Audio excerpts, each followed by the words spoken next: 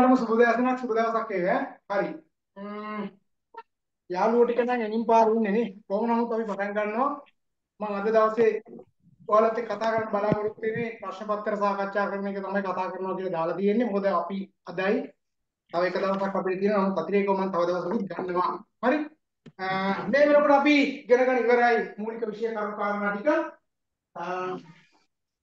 එතකොට අපිට එක පාඩමක් තියෙනවා. ඒක ඒ පාඩම විභාගෙට ප්‍රශ්න වලට එන්නේ. ඒ පාඩම සම්බන්ධයෙන් මම කතා කරන එක තමයි තොරතුරු තාක්ෂණය හා මේ මානව සම්පත් කළමනාකරණයේ ඇප්ස් පාවිච්චි කරන විදිය පිළිබඳව කතා කරන එක වැඩමුළුවක් විදිහට මම කතා කරන්නේ. ඒ නිසා ඒක ගැන මේ වෙලාවේ මම කතා කරන්න යන්නේ ඒක වෙනමම වැඩමුළුවක් විදිහට මම කතා කරනවා ඉදිරි දවසකදී එක්සෑම් එකෙන් පස්සේ. හරිද? එක්සෑම් එකෙන් පස්සේ ඒතොර ඒ තොරතුරු තාක්ෂණයට අදාළ ඒ කරුණු කාරණා ටික එක්සෑම් පේපර් එකේ ඇතුළත් වෙන්න ඒක වෙනමම කතා කරන නිසා අනිකුත් සියලුම දේවල් මේකට කතා කරලා ඉවරයි. මම කිව්වා අර නායකත්වයේ සම්බන්ධයෙන් යම් යම් කරුණු කාරණා වලත් නායකයේ මේ ලක්ෂණ ටික මොනවද කියලා අපි මතක් කරගමු කියලා.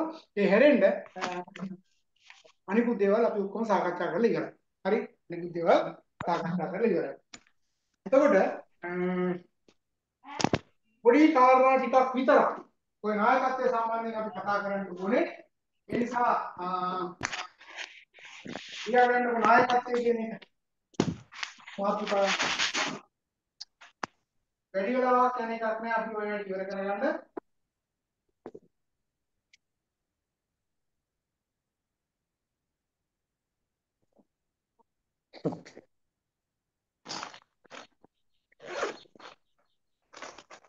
හරිද? නායකත්වය ගැන පොඩි කාරණා ටිකක් තියෙනවා මට කතා කරන්න. මම ඒ ටිකත් කතා කරලා ඉවර වෙලා පේපර් කතා කරන්න ඉන්නවා. මයික් එක නම් ඕෆ් කරගන්න එක හොඳයි. හතර පහ දිනක් මම කරන්නේ. හරි. අහගන්නකෝ.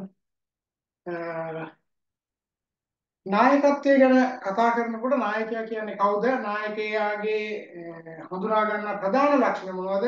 හොඳ නායකයෙක්ගේ ලක්ෂණ මොනවද කියන එක තමයි අපිට කතා කරන්න තියෙන්නේ. එතකොට එහෙනම් ඔයාලට හිතන විදිහට නායකයෙක් කියලා කියන්නේ කවුද? ලංකාවේ ඔයාලට නායකයෝ ගැන කතා කරන්න කිව්වොත් එහෙම නායකයෝ කී දෙනෙක්ගේ නම් මේ වෙලාව මතක් කරන්න පුළුවන්ද? හරි. මට නිකන් දැම්මොත් එහෙම කී දෙනෙක් ඉඳීද නායකයෝ? හොඳ නායකයෝ කෙසේ වෙතත් නායකයෝ කියලා කිව්වොත් එහෙම. දැන් බලන්න ඔය කියන ලීඩර්ස්ලා නේද? නායකයෝ. ඔයාලට මතක් කරන නායකයෝ කවුද ඉන්නේ?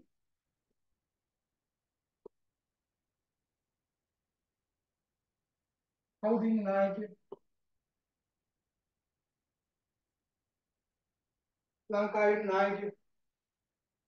ඔයාලෙන් දැන් ඉතින් කවුද ඔයාලා? මට කියනවා ඔයාලට කියනවා මම නායකයෝ තුන් දෙනෙක් ගත්තොත් එහෙම. නැත්නම් ඔයාලා ඔයාලට ඔයාලට හැංගින නායකයෙක්ගේ නමක් දාන්න කිව්වොත් එහෙම. ටැග් ගාලා දාන්න බෑ. නායකයෝ ගැන කතා කරන්න ඉස්සෙල්ලා නායකයෝ දැනගන්න ඉබේ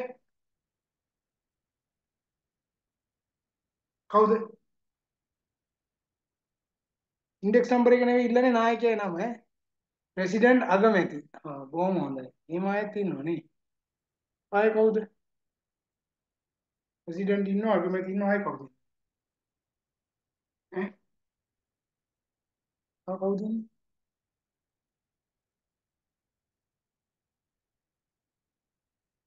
මහත්මා ගාන්ධි. විපක්ෂ නායක රජිත් ප්‍රේමදාස කියන්නේ හරි හරි. බුදුරජාණන් වහන්සේ. හරි. WW කරුණා කළා. අනගාරික ධනපාල මහත්මා ගාන්ධි හරි. ඔක්කොම ගැන මම දන්නවා ආයි කවුද හරි. අරවින්ද ද සිල්වා.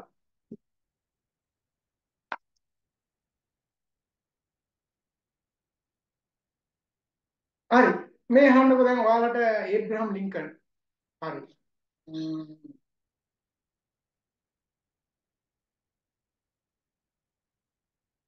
ඩයස් මහතා ඒ අතරේ හරි 29 ඉන්දෙක්ස් ට්‍රම්ප්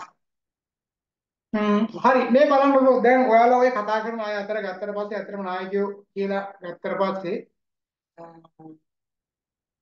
ඔය කියන අය නායකයෙක් විදිහට අපිට සලකන්න පුළුවන් හැබැයි මතක තියාගන්න නායකයෙක් ගාව තියෙන්න ඕනේ ගති ලක්ෂණ ටිකක් තියෙනවා මේ ලක්ෂණයන් එක්ක අපිට බලන්න පුළුවන් නායකයා කියන්නේ කවුද කියන කෙනා එතකොට ලෝකේ අපි දන්නවා සත්තු ගාවත් නායකයෝ ඉන්නවා. සතුන් එක්ක ගත්තට පස්සේ සතු හැන්ඩල් කරන්න නායකයෙක් ඉන්නවා. ඒක අපි පුංචි කාලේ දැකලා තියෙනවා නේද? අර කොක්කු එහෙම පියාඹනකොට මෙන්න මෙහෙම මෙහෙම තමයි පියාඹන්නේ මුලට එක්කෙනෙක් ඉඳලා ඒ අනුව තමයි පස්සෙන් පස්සෙන් යන්නේ. දැන් රිලව් ගත්තොත් එහෙම රිලව් රෑනක නායකයෙක් ඉන්නවා නේ එයා තමයි ඔක්කොම හැන්ඩල් කරන්නේ. ඒ සත්තු අතරත් ඒක තියෙනවා. හැබැයි මිනිස්සු අතරත් තියෙන මිනිස්සු අතර තියෙනකොට ඉතිහාසය ගන්නකොට හැබැයි ලෝක ඉතිහාසයේ බිහි වුණු සහ නැවත බිහි වෙනවා නම් බිහි වෙන්නේ ශ්‍රේෂ්ඨතර නායකත්වය තමයි අර කියනවාට බුදුරජාණන් වහන්සේ උන්වහන්සේට සම කරන්නවත් කාටවත් බෑ. ඒ නායකත්වය ගැන එක පූජනීය එකක් සහ ඒක වෙනම කතා කරන්න ඕන නිසා ඒක පැත්තකින් ඉඳලා ඊට මෙහෙම අපි ලෞකිකව ජීවත් වීමේදී අපි නායකත්වය ගැන කතා කරනකොට නායකයෝ ඉතිහාසය තුළ බිහිලා තියෙනවා ලංකාවේ බිහිලා තියෙනවා. දැන් අපිට මතක් වෙන්නේ බලන්නකෝ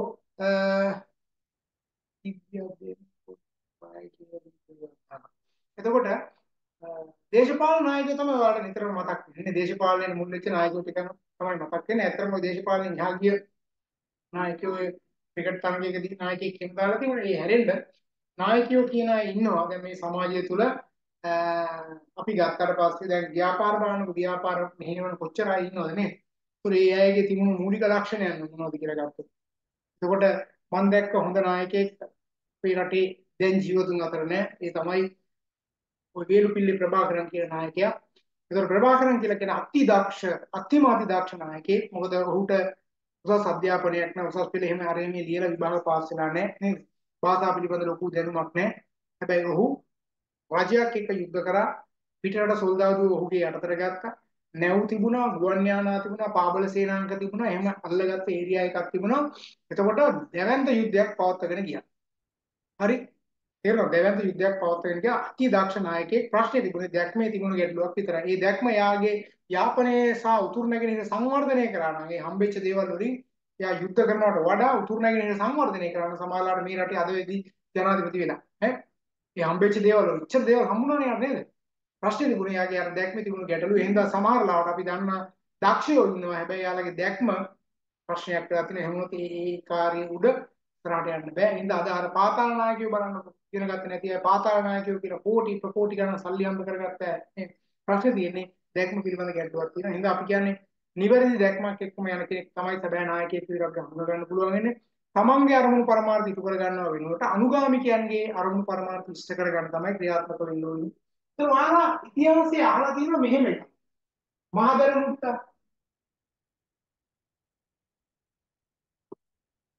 මේ මහදර මුත්තර හිටියා ගෝලිය රොත්තා. කවුද? රබ්බඩ අයියා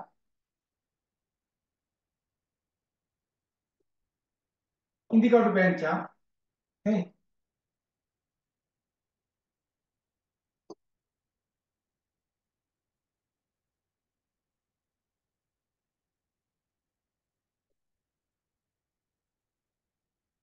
కోటు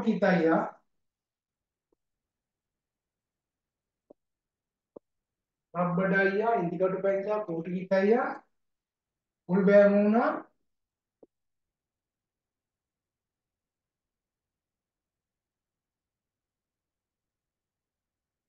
වම්බඩේ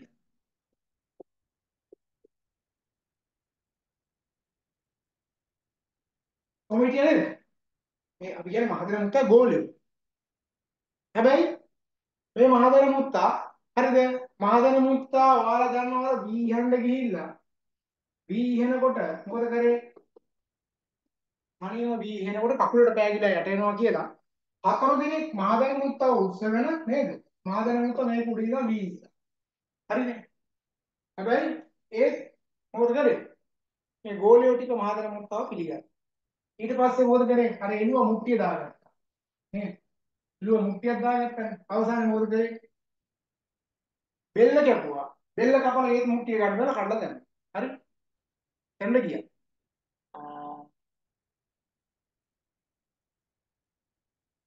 ඊගාවට මොකද කරේ? අර ගඟ නිදිද කියලා බලන්න ගිහිල්ලා පන්දමක් පත්තු කරගෙන ගිහිල්ලා රෑ වෙලා පත්තු කරලා මේක දාලා චෝස් ගාලා නිමුණා නේද? උදේ වෙනකන් ඕක දදා හිටියා ඒත් හැබැයි ගෝලියෝ ටික හිටියා. අර ගණන් කරන්න ගිහිල්ලා පාර්ලිමේන්තුවට යන්න ගිහිල්ලා මායි 1යි 2යි කියලා ගණන් කරලා ඒත් ගෝලියෝ ටික හිටියා. හරි අවසානයේ මහදර මුත්තා මැරිච්ච විදිහත් ඔයාලා දන්නවද මහදර මුත්තා මැරෙන්නේ කතා ප්‍රවෘත්ති හැටියට මහදර මුත්තට වයසට ගිහිල්ලා මැරෙන්න යනකොට මෙන්න මෙහෙම ලොකුවට මෙන්න මෙහෙම එකක් ගහන්න. එහෙම ගහලා එල්ලනවා. ගස් හතරක එල්ලනවා. මේක නිකන් අර අර ඔන්චිල්ලා මේකක් වගේ හතර කොණෙන් ඇදලා එල්ලලා මොකද ගන්න? මහා දැනුත් තමයි මේක නිදා ගන්නවා. යටින් ගිනි මැලයක්. ලොකු ගිනි මැලයක්. ඊපස්සේ කියනවා උඹලා බය වෙන්න එපා, කෑ ගහන්න එපා. මොන සද්ද ඇහුණත් මම දිව්‍ය ලෝකෙට යන්නේ මෙහෙමයි කියලා තමයි ගිනි දානවා යන්නේ. හරි? ඒතරේ මහා දැනුත්ගේ අවසානය කියනවා. මම මේ කියන්නේ මේ කරපු දේවල් ඔයාලට හිතෙන්නේ ගොංකම් විදිහට. නේද? මේ මෝඩ වැඩ කිසිම තේරුමක් නැහැ. හැබැයි මහකරමුත්ත කියන්නේ නායකයා ලීඩර්. එතකොට මේ ලීඩර් මේ කොච්චර දේවල් කරවුවත් අවසාන වෙනකන් එයා නායකයා. ඇයි එහෙම උනේ? එහෙම උනේ. එයාගේ ගෝලියෝ ටික හිටපු. නේද? ගෝලියෝ නැතුණා නම් නායකත්වේ නැහැ. එහෙනම් මතක තියාගන්න. නායකත්වය රඳා පවතින්නේ මොකද්ද? අනුගාමිකයෝ හැවත් එයාගේ ගෝලියොත් එක්ක. අනුගාමිකයෝ. ඒතර අනුගාමිකයෝ නැති වෙච්ච දවසට නායකත්වේ නැහැ. හැබැයි මේ මොන තකතිරු ගොන් වැඩේ කරවුවත් අනුගාමිකයෝ ඉන්නවා නම් එයා ලීඩර් තමයි. හරි? එයා ලීඩර්. ඒතර අද මහදරමුත්තයි ගෝලියොත්යි නැද්ද? ඉන්නවා. දැන් අද දේශපාලනතුම දකින්නේ මොකද්ද? මහදැන මුත්තයි ගෝලය මුත්තයි තමයි. මේක උපහාසාත්මක විදිහට අපිට කතා කරලා ඒ කාලේ කිව්වේ මේක නිකම් කතාවක් නෙවෙයි. මේක අදටත් වළංගුයි. අදත් මේ මහදැන මුත්තයි ගෝලය මුත්තයි ඉන්නවා. හරි? අදත් ඉන්නවා. දැන් දේශපාලඥයෙකු උඩේ ඉන්න සෙට් එක කරන ගොම් වැඩ ටික ඔක්කොම මොකද කරන්නේ? පල්ලෙයා තව සෙට් එකක් ගෙනත් අනුමත කරනවා. නේද? ඒ අනුමත කරන හින්දා එයා අගමැති වෙනවා ආය ජනාධිපති වෙනවා ආය අගමැති වෙනවා ආය මන්ත්‍රී වෙනවා ආය අගමැති වෙනවා ආය ඇමති වෙනවා නේද? එහෙම එහෙම යනවා. අර පවුල මේ පවුල කියලා මොනවා කිව්වත් වැඩක් නැහැ. අනුගාමිකව සෙට් එකක් එනවා. ඒතොර ඒ අනුගාමිකව ටික හදාගත්ත නිසා ප්‍රශ්නයක් නැහැ. ඒ නිසා ඔයා මම කොච්චර කෑ කිව්වත් වැඩක් නැහැ. ඒ යට ඉන්න අනුගාමිකයෝ ටික ඉන්න තාක්කල් ඔය ඔය හැදිලා තියෙන නායකත්වය වෙනස් වෙන්නේ. හරි? ඒ නිසා මේව කොච්චර කරවුවත් එයාට ප්‍රශ්නකුත් නෙවෙයි. ඒ නිසා ඔය අපි දකින නායකත්වය ඔය කෝණේ ඌට වඩා වෙනස් විදිහට දකින්න කියලායි මම කියන්නේ. ඒ නිසා මේවා එහෙම් පිටින්ම දකින්න ඔයාලා යම් තැනක ඔයාලා ආයතනයකට ගියාට පස්සේ ඔයාලා නිවැරදි දැක්මකින් යුක්තව කටයුතු කරන්න. මොකද මම ඒක බොහෝම වැදගත්ව කියන්නේ. මොකද මේ සමාජය තුල බොහෝ අයට බොහෝ දේවල් ඕනේ. අසරණ වෙලා ඉන්න වෙලාව ඒ අයට සරමක් වෙන්න පුළුවන් වෙන ඔයාලට ඉගෙනගත්ත දේවල් එක්ක. මොකද දැන් මේ වෙනකොට අපේම ළමයි දැන් ගුරු විදියට ගිහිල්ලා ආයතන වල වැඩ බාර ගන්නවා අනිත් පාසල් වල වැඩ බාර ගන්නවා ඒතකොට ළමයි එක කටයුතු කරනවා ආයතන වල ගිහිල්ලා වැඩ බාර ගන්නවා දැන් මේ දවස්වල විශේෂයෙන්ම ගුරුවරු විශාල ප්‍රමාණයක් අපේ පාඨමාලාව ආධාරලා එළියට ගිහිල්ලා පත් වීම අරගෙන විශාල ප්‍රමාණයක් හරි එතකොට ඒ නිසා ඔවුන් යම් තැනකට ගියාට පස්සේ ඔවුන් මට කතා කරන හැම වෙලාවෙම මම කියන්නේ කරන්න ඕනේ මෙන්න මෙන්න මේ දේවල් කරන්න කියලා නේද ඒතකොට ළමයා වෙනුවෙන් කරන්න පුළුවන් දේවල් උපරිමයෙන්ම කරන්න ඕනේ එතකොට ඒ නිසා හොඳ දැක්මක් හරි හොඳ දැක්මක් හදාගන්න. මේ හින්දා සැබෑ නායකයෙක් ගාව තියෙන ප්‍රධානතම කාරණාව තමයි දැක්ම. ඒ වගේම දෙක අනුගාමිකයන් වෙනුවෙන් පෙනී සිටීම. තමන්ගේ දේවල් නෙවෙයි අනුගාමිකයන් වෙනුවෙන් තමන්ගේ යටත් අය වෙනුවෙන් පෙනී සිටීම. තා ඔය කියන නිවැරදි දැක්මක් එක්ක අනුගාමිකයන් වෙනුවෙන් පෙනී සිටීම කියන කාරණා දෙක ඒ වගේම තුන්වෙනි කාරණාව තමයි හොඳ මනස සංවේදනයක් තියෙනවා. ඔය කාරණා තුන සැබෑ නායකයෙක් ගාව තියෙන්න ඕනේ. ඒතර නායකත්වයේ සම්බන්ධයෙන් අපි කතා කරන ප්‍රධාන ප්‍රවේශයන් කියනවා ගති ලක්ෂණ ප්‍රවේශය නේද? ඊට පස්සේ අපි කතා කරනවා අවස්ථානුකූල ප්‍රවේශය නේද? චර්යාත්මක ප්‍රවේශය ගැනත් අපි කතා කරනවා. ඊට වඩා ප්‍රවේශයන් ගොඩාක් තියෙනවා. සරලව ප්‍රවේශයන් තුනක් ගැන අපි කතා කරනවා. එතකොට අද ගත්තට පස්සේ නායකත්වයේ සම්බන්ධයෙන් බොහෝ කරුණු කාරණා තියෙනවා. ඒවා මම අර පොතේ ඇතුළත් කරලා තියෙනවා. ඒතර ඔයාලගෙන් අහුවොත් අහන්නේ නායකත්වය කියන්නේ මොකද්ද? හොඳ නායකයෙකුගේ ලක්ෂණ මොනවද කියන කාරණාව තමයි විභාගෙදී අහන්නේ. ඉතින් නායකත්වය ගැන විටි විට අපි කතා කරලා තියෙන නිසා මම පොදුවේ කිව්වේ මෙන්න මේ වගේ දෙයක්. ඒතර සංවිධානයේ පැත්තෙන් ගත්තපන් පස්සේ සංවිධානයක අරමුණු පරමාර්ථ ඉෂ්ට සිද්ධ කර ගැනීම සඳහා යටත් සේවකයන් එහෙම නැත්නම් සමාජිකයන් ස්වේච්ඡාවෙන් ඒ සඳහා යොමු කිරීමේ හැකියාව තියෙනවා නම් අන්න යනවා. තේරුණාද? සංවිධානයේ අරමුණු පරමාර්ථ කර ගැනීම සඳහා යටත් සේවකයෝ ටික ඒ වෙනුවෙන් ස්වේච්ඡාවෙන්ම දක්වනවා කියන්නේ. ඔටෝමැටිකලි ඊට පස්සේ ඇය වැඩ කරන්න පටන් ගන්නවා. හරි? එතකොට ඒක තමයි නායකත්වය කියලා කියන්නේ. තියාගන්න මෙහෙම ආයතනික අරමුණු ආයතනික අරමුණු ළඟා කර ගැනීම සඳහා ළඟා කර ගැනීම සඳහා.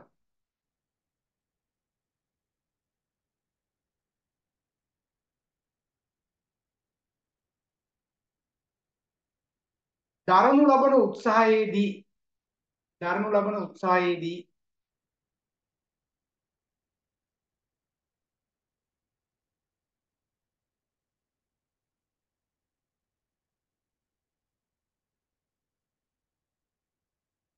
දරනු ලබන උත්සාහයේදී සමාජිකයන්ගේ සමාජිකයන්ගේ ස්වේච්ඡා සහභාගීත්වය. සමාජිකයන්ගේ ස්වේච්ඡා සහභාගීත්වය. ලබා ගැනීම සඳහා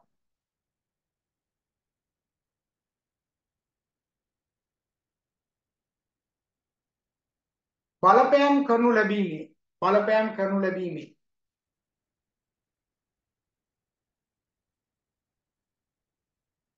සමාජීය ක්‍රියාවලිය නායකත්වයේ වේ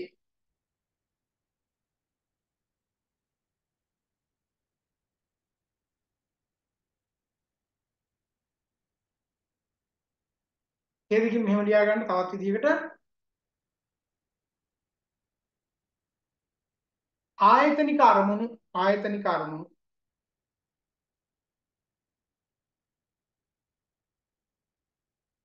ආයතනික අරමුණු.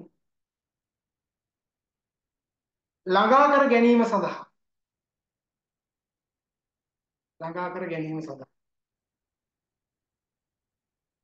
කණ්ඩායමේ සමාජිකයන් වෙත කණ්ඩායමේ සමාජිකයන් වෙත බලපෑම් කිරීමේ ක්‍රියාවලිය නායකත්වයේ වේ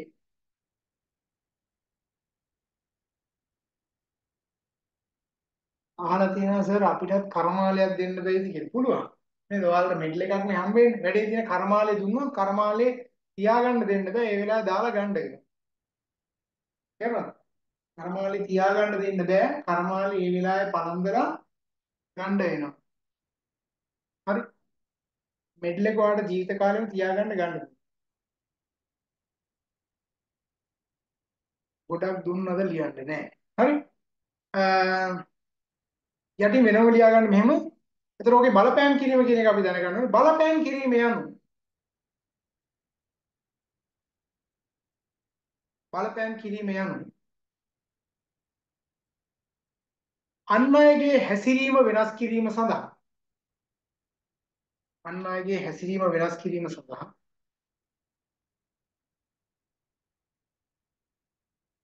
බලය යොදා ගැනීමේ කාර්යයයි.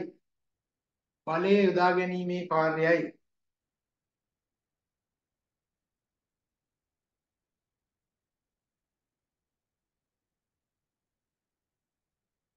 මෙහිදී හැසිරීම යනු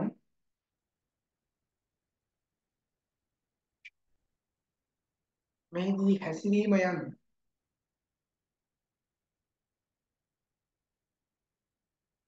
යම් අයෙකු විසින් යම් අයෙකු විසින්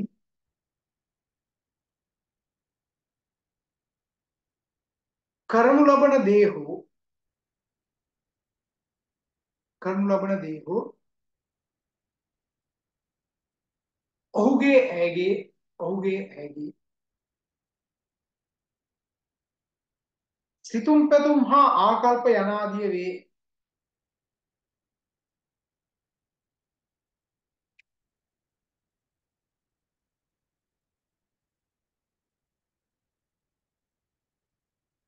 මෙහි බලය යනු අපි කලින් කතා කරලා තියෙන කමක් නැහැ මෙහි බලය යනු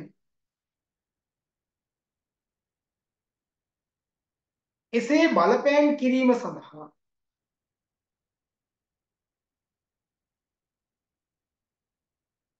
ඇති හැකියාවයි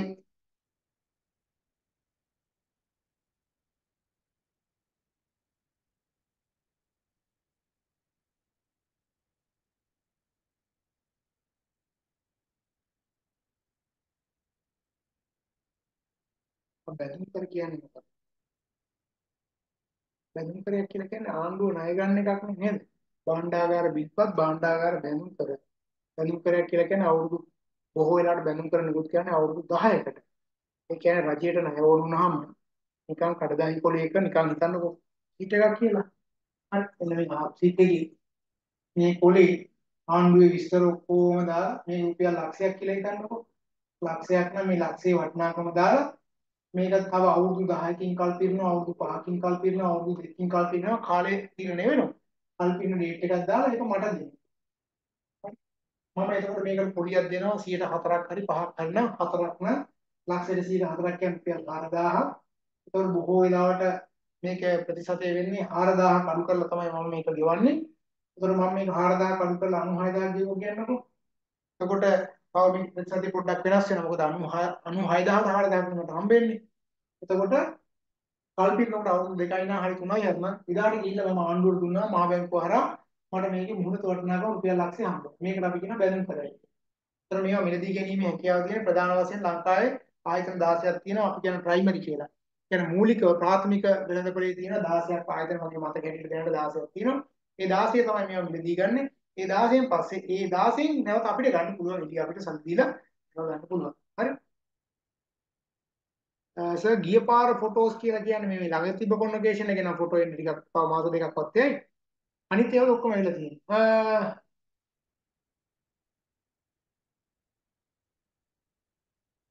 ඉංග්‍රීසි මීඩියම් ඩිග්‍රී එකක් කරුවා කියලා ලකුණු වැඩි වෙන්නේ නැහැ. ඒක හම්බෙන්නේ ඩිග්‍රී එකට හම්බෙන ලකුණු පහ ලකුණු පහම තමයි. හරි.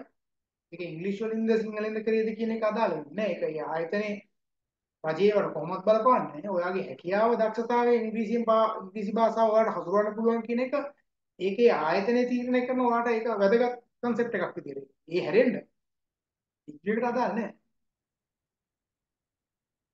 ලෝ ඩිප්ලෝමා එකක් කරන්න නම් ටිකක් ප්‍රශ්නයක් තියෙනවා හොයාගන්න තැන. හරි. මොකද එළිය වටින්නත් ඕනේ නේක.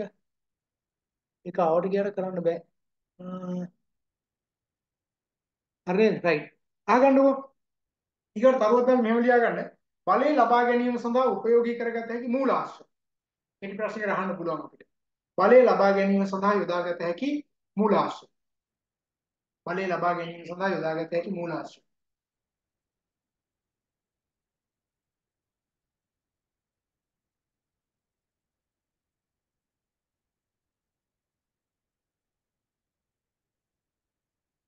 එක ත්‍යාග දීමේ බලය. ත්‍යාග දීමේ බලය.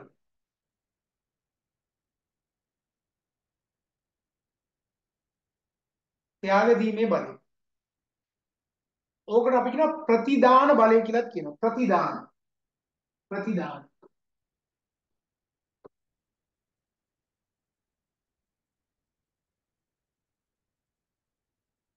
ඊගොඩ දඬුවම් දීමේ බලය. දඬුවම් දීමේ බලය. දඬුවම් දීමේ බලය.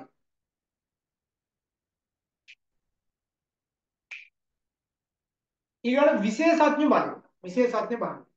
විශේෂඥ බලය.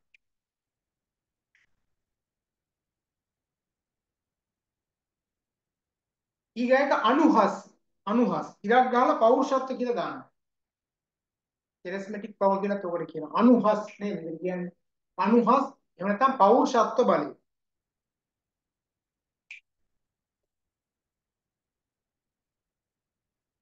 ඊගායක තොරතුරු බලය. තොරතුරු බලය.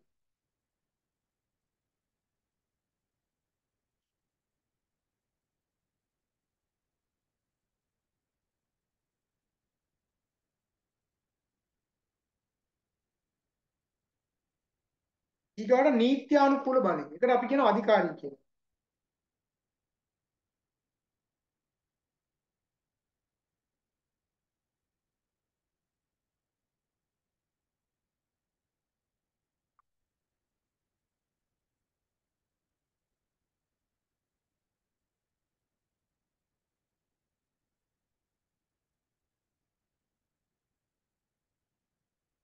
හරි.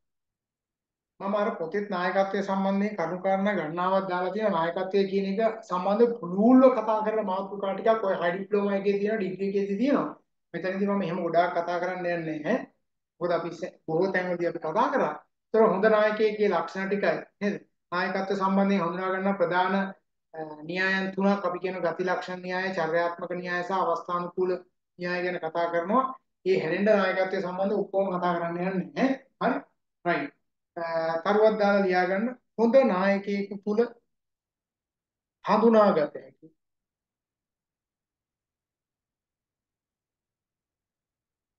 ප්‍රධානතම ලක්ෂණයන් වන්නේ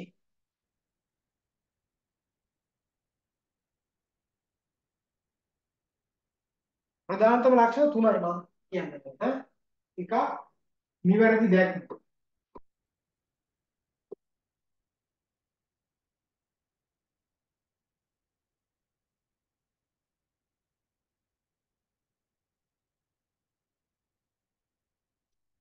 දෙක අනුගාමිකයන් වෙනුවෙන් පෙනී සිටීම.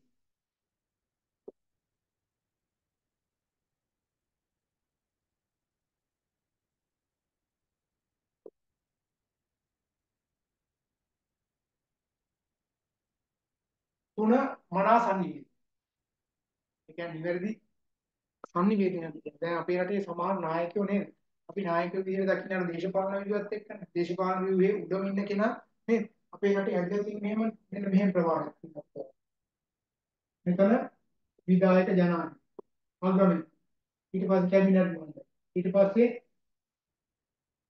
රාජ්‍ය අමාත්‍ය ඊට පස්සේ පාර්ලිමේන්තු මන්ත්‍රීවරු ඊට පස්සේ මේකෙන් ටිකක් කැඩිලා තිබුණා පළාත් සභා මහ ඇමතිවරු. ඊට පස්සේ ඇමතිවරු. ඊට පස්සේ පළාත් සභා මන්ත්‍රීවරු. ඊට පස්සේ ආය කැඩලා තියෙන ප්‍රාදේශීය සභා සභාපතිවරු. නගර රාජපතිවරු ওই සෙට් එක. ඊට පස්සේ ප්‍රාදේශීය සභා මන්ත්‍රීවරු කියලා ওই විදිහට අල්ලනවා. ඕක තමයි දේශපාලන ඉහළ දේශපාලන ව්‍යුහය තුළ හැදිච්ච එක. එතකොට රාජ්‍ය සේවයේ තුළ මෙතන උඩින්ම ඉන්නව කවුද? ජනාධිපති ලේකම්. අතිරේක ලේකම්. අමාත්‍යාංශ ලේකම් අමාත්‍යාංශ අතිරේක ලේකම් ඊට පස්සේ දිසාපති කියන්නේ දිස්ත්‍රික් ලේකම් කියන්නේ ඊට පස්සේ ප්‍රාදේශීය ලේකම් ඔය විදිහට කොහොම වෙන ග්‍රාම සේවක දක්වන්නේ මොනවද ඔයත් නායකත්වයේ දීලා තියෙන විදිය ලංකාවේ එතකොට මෙන්න මේ විදිහට තමයි හැදිලා තියෙන්නේ එතකොට අපි දැක්කදී තමයි සමහර මෙන්න මේ කියන නායකයෝ නේද අනුගාමිකයෝ කියලා කියන රටේ ජනාධිපති ගත්තොත් මේ සමස්තය වෙනුවෙන් පෙනී සිටින්න ඕන නම් අපි දැක්ක පහුගිය කාලේ සමහරලාට සමස්තය වලින් පෙනී සිටිනවා කෙසේ වෙතත් පොඩු ආයරාදී ඔක්කොම අරගෙන දුවගෙන පැනගෙන පැනගෙන දුවගෙන දුවගෙන කියන ආයකත් හිටියා මේ රටේ නේ. අනුගාමිකයෝ පෙනී හිටියා නෙවෙයි. දුවගෙන දුවගෙන කියන ආයකත් හිටියා. සුට්කේස් එහෙම ඔක්කොම පැක් කරගෙන දුවගෙන හිටිය නායකයෙක් දැක්කනේ. හරි. මම ගියා. හැබැයි ඒ නායකයන්ට අද වෙද්දි මම දැක්කා ජනාධිපති විශ්‍රාම වලට හම්බෙලා තියෙනවා නේද? ඉන්දර දීවනයම ලක්ෂ ගණන් ගෙවනවා නේ. ඒ අපේ රටේ හැදලා තියෙන විදිය මෙව්වේ හැදලා තියෙන විදිය ඒක වෙනම කතාවක් ඕවා වෙනස් කරන්න නම් පුළුවන් පැහැදිලිව වෙනස් කරන්න පුළුවන් එකට එකට එකතු වෙලා කටයුතු කරන්න. يعني සැබෑම අරමුණ වෙනුවෙන් ලංකාවේ තියෙන ව්‍යවස්ථාව හදලා ඒ වෙනස්කම් සිද්ධ කරන්න මේ වෙනස් කරන්න ඇත්තටම පුළුවන්. හරි. දැන් පුළුවන්. රටේ හිටපු ඉතිහාසයේ හිටපු නායකයෝ හිටියා ලංකාවේ දේශපාලනික වශයෙන් ඔය නැඩ්ලි සේනානායක ඩී.එස්. සේනානායක වගේ අය ගත්තට පස්සේ එයාලගේ අන්තිමේදී බැංකු පොත් ගත්තට පස්සේ රුපියල් 100ක් 150ක් බැංකු පොතේ තියාගෙන වැඩ කරපු මිනිස්සු මට මතකයි එක සැරේ එක අවස්ථාවකදී ආගේ අගමැති ගඩලි දෙනනක ඩීඑස් දෙනනක ඒ දෙන්නගේ එක්කෙනෙක් දුව රජේ පාදියම කරලා ඔක්කොම කරලා ඉන්ටර්විව් එකට යන්නේ පොලිමේ තමයි ගිහිල්ලා තියෙන්නේ පොලිමේ පිටිපස්සේ හිටපු ඇමතිවරයෙක් දැකලා ඇයි දුව කියලා ඉන්ටර්විව් කරනවා 100 ප්‍රතිශත ඉස්සරහින් ඉඳලා තියෙනවා එයා පොලිමේ ගිහිල්ලා තියෙනවා ඔය විශ්‍රාමයට එකකට වැඩි ප්‍රමාණයක් ගන්න රාජ්‍ය නිලධාරීන් ඉන්නවද ලංකාවේ? ඉන්නවා පුතා. ප්‍රශ්නේ තියෙන්නේ මෙහෙමයි ලංකාවේ දැන් හදලා තියෙන අමුතු සිස්ටම් එකක්. ඒක තමයි ඇමතිවරයෙක් විදියට ඉඳලා එයා අයින් වුණාට පස්සේ අමාත්‍යවරයාගේ ඒ වැටුප ගන්නව විතරක් නෙවෙයි සමහර නිලධාරීන් ඉන්නවා අමාත්‍යාංශ ලේකම් විදියට ඉඳලා එයාගේ ලේකම් විදියට අරගෙන ඒ විශ්‍රාම වැටුප අරගෙන තවත් ඊගව පාර පාර්ලිමේන්තුවේ තවත් කාට හරි මොකක් හරි වැඩක් කරලා ඒකෙමුත් ගත්ත එහෙම තුන හතරක් තියෙනවා මට අහුවෙලා තියෙනවා. හරි මන් දන්නේ ඒකේ මොකක්ද කතන්දරය කියලා. ඒ නිසා සමහර ජනාධිපති ආර්යාවෝ හරි මහර ජනාධිපති ආර්යාවෝ අද වෙද්දි රටු තුන හතර ගන්නවා කියලා කියනවා. හරි. කියන්නේ මොගිය ඇස් දෙකින් දැකලා නේ. නමුත් ඔයලා බලනකොට එහෙම ගන්න පුළුවන් විදියක් ක්‍රමවේදයක් හදලා තියෙනවා. මොකද පාර්ලිමේන්තුවේ අවුරුදු 5ක් විතර තියෙනවා. විශ්‍රාම වැඩ පහම් වෙනවා. ඒ ඇත්තටම අසාධාරණ සාමාන්‍ය සේවකයෙක් අවුරුදු 20ක් අනිවාර්යයෙන්ම සේවය කරන්න ඕනේ. ෆුල් පෙන්ෂන් එකක් ගන්න. හැබැයි එයාට අවුරුදු 5ක් පාර්ලිමේන්තුවේ ඉඳලා කාලා බීලා ඕන දෙයක් කරලා එළියට ආවට පස්සේ වැටුප හම්බ වෙනවා. දැන් මේ පාරත් අවුරුදු 5 සම්පූර්ණ වෙච්ච ගමන් අලුත ගිය ඔක්කොටම ඊට පස්සේ පෙන්ෂන් එක හම්බ වෙන හින්දා මම හිතන්නේ කිසිම අවස්ථාවක රනිල් වික්‍රමසිංහ මහත්තයා අවුරුදු 5 සම්පූර්ණ වෙනකම් ඔක විසිරුවා හරින එකක් නෑ කිසිම හේතුවක් මත.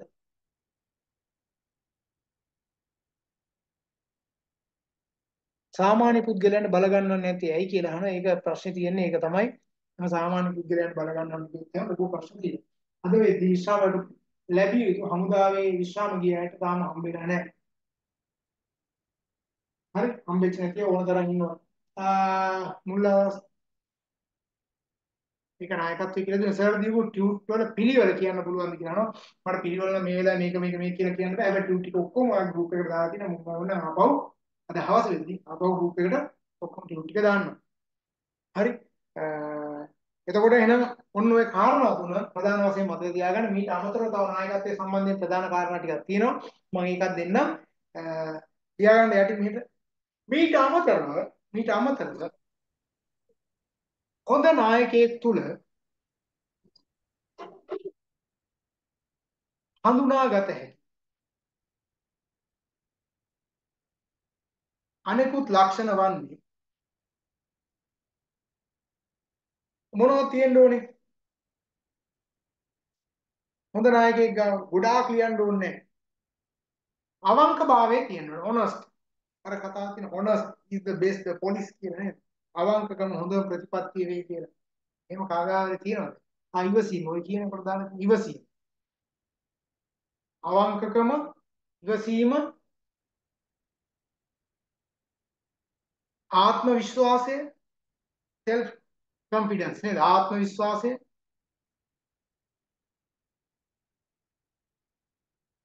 නිර්මාණශීලීභාවය නිර්මාණශීලීභාවය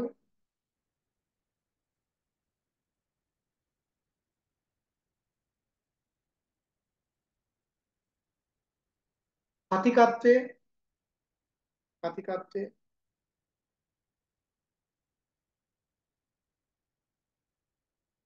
ඇහුම්කන් දීම. ඔව්. ඕකටම අපි කියන ඇහුම්කන් දීම කියන එකට විරක් ගන්න දෙන අන්මතයන්ට ගරු කිරීම. අන්මතයන්ට ගරු කිරීම.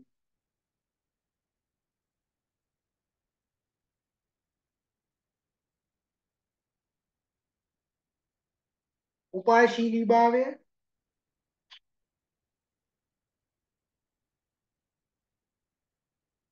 ඒ වගේම සමාජශීලීභාවය සෝෂබිලිටි ඒ කියන්නේ Facebook එහෙම යන්න පුළුවන්ද WhatsApp පුළුවන්ද YouTube පුළුවන්ද කියන එකද? නෑ නෑ ඊට එහා ගිය දෙයක් කෑ සමාජශීලීභාවය කියන්නේ. ඊට ප්‍රතිපත්තිගරුක භාවය. ප්‍රතිපත්තිගරුක භාවය. ඔය ප්‍රතිපත්තිගරුක භාවය සම්බන්ධයෙන් කතා කරද්දී මහත්මා ගාන්ධී එක අවස්ථාවකදී වල දන්නවා මහත්මා ගාන්ධී හම්බෙන්න එනවා. විවිධ ප්‍රශ්න තියෙන අය එනවා විසඳගන්න. එක්තරා අවස්ථාවකදී ඔය අම්මා කෙනෙක් පොඩි දරුවෙක් අරගෙන කිලෝමීටර් 250කට වඩා ගොඩාක් දුර බැහැර ගෙවාගෙන මහත්මා ගාන්ධි ගාවට හැදිලා හම්බුනාට පස්සේ මහත්මා ගාන්ධි අහන මොකද්ද ප්‍රශ්නේ? ඒකට මේ පොඩි එකා සීනි ගහනවා පැණි රහ කනවා වැඩි ඒ නිසා මේකට උපදේශයක් ගන්න තමයි ආවේ කියලා. මහත්මා ගාන්ධි ඊට පස්සේ මේ පොඩි කාගේ උඩට දාලා කියනවා අම්මාට මේ පොඩි කෙනා අඬ ගහගෙන යන්න තව සති දෙකකින් විතර අඬ ගහගෙන එන්න කියලා අපට. ඊට පස්සේ සති දෙකක් ගියාට පස්සේ අර අම්මා ආයේ හඬ ගහගෙන එනවා. ඒ ආවට පස්සේ මහත්මා ගාන්ධි ඔළුව අත ගාලා කියන පුතා පැණ්ඩස කන්න එපා. හොඳ නෑ. ඒක අඩු කරගන්න. ඊට පස්සේ අර අම්මා කෑ ගහනවා. ඇයි එදා ඔබ කිව්වේ නැත්තේ? මොකද මම ආපහු සැරයක් එන්න මට ලොකු වියදමකුත් ගියා කාලෙකුත් ගියා. ඊට පස්සේ මහත්මා ගාන්ධි කියනවා එදා ඒදි මම ඊනි පැණ්ඩා වැඩිපුර කෑවා. හැබැයි මම දැන් ඒක නතර කරලා තමයි අද මේ කියන්නේ මේක නතර කරන්න කියලා. ඒතකොට ඒක කියන්නේ මොකක්ද? ආදර්ශමත් බව නේද? Taman ගාව නැති දෙයක් අනුන්ට කරන්න කියලා කියන්න යන්න හොඳ නැහැ. ඒ නිසා අනිවාර්යයෙන්ම ආදර්ශමත් භාවය කියන එක නායකයෙක් ගාව තියෙන්න ඕනේ. ඊගාට චිත්ත වේගී ස්ථායිතාවය තියෙන්න ඕනේ. චිත්ත වේගී ස්ථායිතාවය.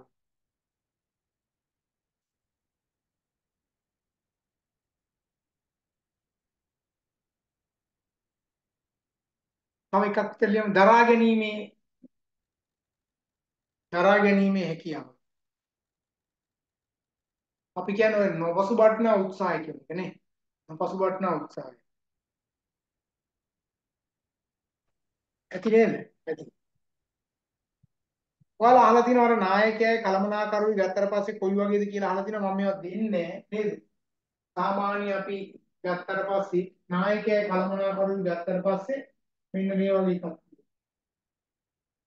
මේ තමයි කලමනාකරන.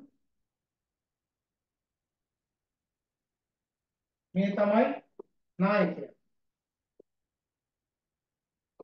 නමුත් ඔයාලා මේක ඇතුලේ ගත්තට පස්සේ මේක උපකුලකයක් නේ තියෙන්නේ නේද? ඒතර කලමනාකරු කියන්නේ මේ සමස්තය. මෙතන නියෝජනය වෙන්නේ සමස්තය. එතකොට නායකයෙක් කියලා නියෝජනය වෙන්නේ මේ මැද කොටස. එතකොට මේ කෑම විතරක් නෙවෙයි සමස්තය තුල කලමනාකරු ඉන්නකොට සෑම කලමනාකරුවෙක්ම තුලම නායකත්ව හැකියාවක් තියෙන්න ඕනේ. නමුත් ඒක සමහරවිට අපේ ගිලිහිලා ගියේ. හැම නායකයෙකුටම කලමනාකරුවෙක් විදිහට කටයුතු කරන්නත් බෑ. එතකොට මේ නායකත්වය ගැන කතා කරනකොට ඔයාලා දන්නවා විධිමත් නායකයෝ ඉන්නවා අවිධිමත් නායකයෝ ඉන්නවා. එතකොට ඒ කියන්නේ ෆෝමල් සහ ඉන්ෆෝමල්. එතකොට විධිමත් කියලා කියන්නේ ආයතනික අරමුණු පරමාර්ථ වෙනුවෙන් පෙනී හිටලා ඒ වෙනුවෙන් ක්‍රියාත්මක කරන නායකයන්ට අපි කියනවා ෆෝමල් ලීඩර්ස්. ඉන්ෆෝමල් ලීඩර්ස් කියලා කියන්නේ ඔවුන්ගේ අරමුණු පෞද්ගලික අරමුණු පරමාර්ථ ඉටු කර ගැනීම සඳහා ක්‍රියාත්මක වෙන ඒවාට අපි කියනවා ඒ ඇවිල්ලා කවුද? පෞද්ගලික අරමුණු වෙනුවෙන් පෙනී සිටින අවිධිමත් නායකයෝ. එතකොට මේ අවිධිමත් නායකයෝ පිළිබඳවත් ආයතනයක් ක්‍රියාත්මක වෙන්න ඕනේ. හේතුව තමයි මොකද අවිධිමත් කණ්ඩායම් හරහා බොහෝ දේවල් කරනවා. ඒතර අවිධිමත් සංවිධාන බිහි කරගන්නවා. සංනිවේදන ජාල හොයාගන්නවා. මේවා පිළිබඳව අපි අවබෝධයක් තියාගන්නවා. දැන් මේ වෙනකොට බලා ගන්නකො විශ්වවිද්‍යාල අනධ්‍යන කාර්ය මණ්ඩලය දැන් ස්ට්‍රයික් කරලා දැන් අවුරුදු දවස් 50කට කිට්ටු වෙලා ඉඳ තියෙන්නේ. එතකොට මේක ඇතුලේ නායකයෝ ඉන්නවනේ ලීඩර්ස්ලා ඉන්නවනේ නේද? ඒතර ඔවුන් ඔවුන් ක්‍රියාත්මක කරන විදිය වෙනස්. එතකොට ඒකේ සංවිධාන අරමුණු පරමාර්ථ ඉටු කර ගැනීම සඳහා විශ්වවිද්‍යාලයේ සංවර්ධනීය උදෙසා විශ්වවිද්‍යාලයේ දරුවන්ගේ අභිවෘද්ධිය උදෙසා නේද? විශ්වවිද්‍යාල පද්ධතියේ සමස්තය නගා සිටුවීමේ උදෙසා ක්‍රියාත්මක වන වැඩක් දෙයක. ඒ ස්ට්‍රයික් කරලා තියෙන්නේ නැහැ. මොකද්ද? ඒ විශ්වවිද්‍යාල සේවකයන්ගේ පෞද්ගලික අරමුණු පරමාර්ථය නැත්නම් වැටුප්පල තියෙන ප්‍රශ්න ප්‍රශ්න නැත්තේ නෑ. ගැටලු තියෙනවා. ඒ ගැටලු වෙනුවෙන් පෙනී නේද? එතකොට ඒ ඒ ක්‍රියාමාර්ග ගැනීම සඳහා ක්‍රියාත්මක වෙන විදිය වෙනම එකක්. හැබැයි යම් වෙලාවක පාරට බහැලා අනධ්‍යයන කාර්ය මණ්ඩලය සහ විශ්වවිද්‍යාල ආචාර්යවරු ශිෂ්‍ය ඔක්කොම පාරට බහැලා අපේ සංවර්ධනය නිසා ගොඩනැගිලි අපිට වැඩි කරලා දෙන්න නේද? සිසුන් ගන්න ප්‍රමාණය අපිට වැඩි කරලා දෙන්න, ආචාර්යවරු ප්‍රමාණය අපිට වැඩි කරලා දෙන්න නේද? මේ සංවර්ධන වැඩි කටයුතු ටික වැඩි කරලා දෙන්න කියලා පාරට බහිනවා නම් ඒක යන්නේ ආයතනික වශයෙන් වෙනම විදියට. ඒතකොට ඒ ආයත සිරෙන විදිය වෙනස්. ඒතකොට දැන් ඔයාලා මම ගත්තොත් එහෙම වැඩි වශයෙන් පාරට බහින්නේ මොකක් වෙනවද? ඒ ඒ කණ්ඩායම වල විශ්වවිද්‍යාල ආචාර්යවරුන්ගේ වැටුප් අඩු නම් විශ්වවිද්‍යාල ආචාර්යවරු පාට බහලා කියනවා අපිට වැටුප් අඩුයි කරුණාකරලා ඒක වැඩි කර දෙන්න ඒක තමයි ඉස්සයි. අනධ්‍යනකාරී මණ්ඩලේ ප්‍රශ්නයක් වුම ඒ අය පාට බයි. බෑ ඒවට ලීඩර්ස් වෙන්නේ. නර්සස්ලාගේ ප්‍රශ්නයක් ආවම එයාලගේ වැටුප් වැඩි කර ගැනීම සඳහා දීමනා වැඩි කර ගැනීම සඳහා එයාලා පාට බයි. නර්සස්ලා කවදාවත් රෝගීන්ගේ ප්‍රශ්න निराකරණය කර ගැනීම සඳහා රෝගීන්ට වැඩිපුර ප්‍රතිකාර කිරීම සඳහා අවශ්‍ය කරන දේවල් ලබා දෙන්නේ. එහෙමයි කියලා පාට බහලා නේද? රෝගී ජීවිත බේරා ගැනීම සඳහා අපිට සහාය වෙන්න කියලා ආණ්ඩුව මේ වෙනුවෙන් බැඳී හිටින්න කියලා එහෙම පාට බහලා තියෙනවා කියලා ඔයාලට පොඩ්ඩක් හොයලා බලන්න මම දන්නේ නැහැ. හරි. වෛද්‍යවරු තමන්ගේ ප්‍රශ්න වෙනුවෙන් පාට බහිනවා. ගුරුවරුත් දැන් ආපහු පාට බහින මොකටද? තමන්ගේ අරමුණු පරමාර්ථයවත් වැටුප ගැන කරා. ඔයාලටම කියලා තියෙන ලංකාවේ වැටුප් ප්‍රශ්න ගත්තට පස්සේ ලෝකෙත් නැති ප්‍රශ්න ලංකාවේ හේතුව තමයි හරියට ඒවා निराකරණය කරලා නැහැ. මුලින්දම විසඳුම් දීලා නැහැ. එහෙනම් ලෝකයේ ඇමරිකානු කම්කරු දෙපාර්තමේන්තුවේ රිසර්ච් එකක් කරලා තිබ්බා මං කිව්වා 30000ක සේවකයන් ප්‍රමාණයක තොරතුරු අරගෙන හැබැයි මම ඔයාලට කිව්වා ඒක 30000ක් නෙවෙයි 40000කට එහා ගිය ප්‍රමාණයක තොරතුරු අරගෙන රිසර්ච් එකක් මේ නෝට් කරනවා. ඒ තමයි ওই ලංකාවේ සේවකයන්ගේ වැටුප් සම්බන්ධයෙන් ලැබෙන වැටුප සුබ සාධනය ඒ දීමනා උසස් වීම මේ ආදී සියල්ලක් එක්කම සේවකයා සැටිස්ද නැද්ද මේකට ගත යුතු ක්‍රියාමාර්ග මොනවද කියන එක පිළිබඳව මේ වෙන රිසර්ච් එකක් මම පටන් ගන්න තියෙන්නේ මේ වෙනකොට මම ඉතින් 30000කට ආසන්න ප්‍රමාණයක තොරතුරු කලෙක්ට් කරලා ඔක්කොම කරලා ඉවරයි ඉතින් තව සති කිහිපයකින් පස්සේ මේකට ඔයාලත් යම් ආකාරයකින් දායක වෙනවා. හරි. එතකොට මේ අවුරුදු අවසන් වෙද්දී ඒක ලංකාවේ හොඳම රිසර්ච් එක විදිහට මම හිතනවා. ඒ සම්බන්ධයෙන් කරන ලෝකෙත් හොඳම රිසර්ච් එක වෙයිද දන්නේ අපි බලමු. ඒ රිසර්ච් එකේ තොරතුරුත් අපි ඉදිරියේදී එලි දක්වන මේ අවුරුදු අවසන් වෙද්දී ඒක මම ඇත්තටම මගේම කටයුත්තක් නෙවෙයි මම ඔයාලට උගන්වනවා. මගේම ඔයාලගේ තතුවක් එක්ක මේ වැඩි ඉස්සරහට යන්නේ. ඇත්තටම මේ වගේ හරි දේවල් ටික අරගෙන මේ සමාජගත වුණොත් එහෙම ඔය නිදාන්තරයෙන් පාරට බහැලා කෑ ගහන ඒවා සමානුකූලව අඩු කරගන්න පුළුවන්. හරි? ඇත්තටම අඩු කරගන්න පුළුවන්. මේ නැති වෙන දේවල් සම්පත විශාලයි. මොකද ලෝකේ ජීවුම රට විදිහට අපිට අවුරුදු 10ක් යන ඉස්සෙල්ලා ඉස්සරහට එන්න පුළුවන්. අපේ තියෙන මානව සම්පත හරියට පාවිච්චි කරගන්න. හරි? වෙලා තියෙන්නේ මේක හරියට සිද්ධ වෙන්නේ නැති නිසා.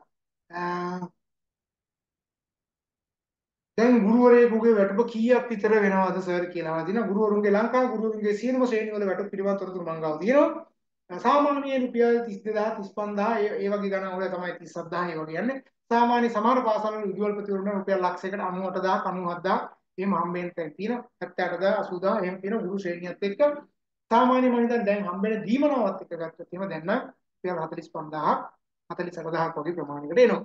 දැන් උපරිම 50000ක් කියලා. මේ මට්ටමට දැන් එනවා අර දීමනාවත් එක්ක රණී මහත්තයාගේ දීමනාවත් එක්ක එහෙම නැත්නම් රුපියල් 60000 30000 තමයි තාම යන්නේ. අරක එල්ලපු කැලලත් එක්ක තමයි එන්නේ. අතර එනකොට මම හිතා රුපියල් 42000ක් විතර වගේ හම්බ වෙනවා. ඒ නිසා ඔයා ඒක ප්‍රමාණවත්ද නැද්ද කියලා ඔයා තීරණය කරන්න. ඔයා තමයි තීරණය කරන්න ඕනේ. මම මේකේ සෑහීමටපත් වෙනවාද කියලා. හරි? මම කියන්නේ ඒක කරන්න එපා කියන්නේ. දැන් පුතමගේ ආසාවත් එක්ක කරන්නේ නේද? ඒක ඊට වඩා හම්බ කරන්න ඕනේ නම් මේ වගේ ඉගෙනගෙන ගිහිල්ලා දෙයක් කරන්න පුළුවන්. හරි? ඒතර මම මේ නායකය සහ කලමනාකරු ගැන කතා කරේ. ඔයාලා හැම වෙලාවෙම අහනවා අපි බොස් කෙනෙක් වෙනවද? එහෙම නැත්නම් ලීඩර් කෙනෙක් වෙනවද? බොස්ගේ තියෙන ලක්ෂණ සහ ලීඩර්ගේ තියෙන ලක්ෂණ ඔයාලා අහලා තියෙනවා. මම මේක මේ වෙලාවේ දෙන්න යන්නේ බොස් කියන්නේ හැම වෙලාවෙම අඩුපාඩු හොයාගෙන තව කෙනෙකුට බලපෑම් කරන කෙනා නේද? හැබැයි ලීඩර් කියලා කියන්නේ අඩුපාඩු මොකද්ද කියලා හඳුනාගෙන ඒක නිවැරදි කිරීමට අවශ්‍ය ක්‍රියාමාර්ග ගන්න කෙනා තමයි ලීඩ්. ඒතර ඔයාලට වෙන්න පුළුවන් නම් ලීඩර් කෙනෙක් බොහොම හොඳයි බොස් කෙනෙක් වෙනවට වඩා. හරි? රයිට්. එතකොට මේ කාරණාව මම මතක් කරා මේ කරු කාරණා ටික මම ඔයාලට දින්නේ ඊගාට නායකත්වයේ සම්බන්ධයෙන් හඳුනා ගන්න පුළුවන් න්‍යායන් ගණනාවක් තියෙනවා. ඒකේ ප්‍රධාන න්‍යායන් තුනක උත්තර මම කෙටියෙන් අදහස් දෙන්න. තියාගන්න එහෙම නායකත්වයේ සම්බන්ධයෙන් ඉදිරිපත් වී ඇති ප්‍රධාන න්‍යායන්.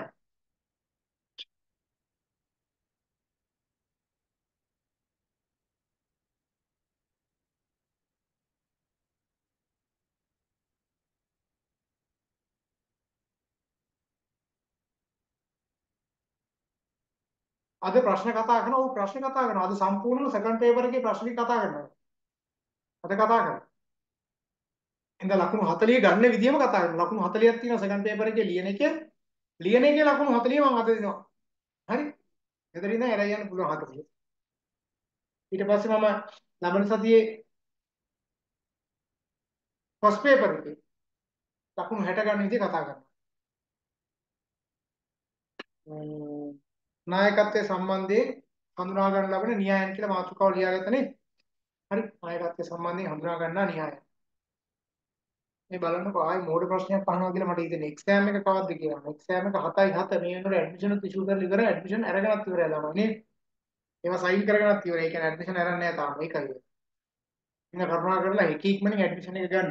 මේ සතිය ඇතුළත සියලු දෙනාම ඇඩ්මිෂන් අරගෙන ඉවර කරගන්න. මේ සතිය ගන්නම බැරි වුණොත් ලබන සතියේත් ගන්න පුළුවන්. නමුත් මේ සතිය ඇතුළත අරගෙන ඉවර කරගන්න.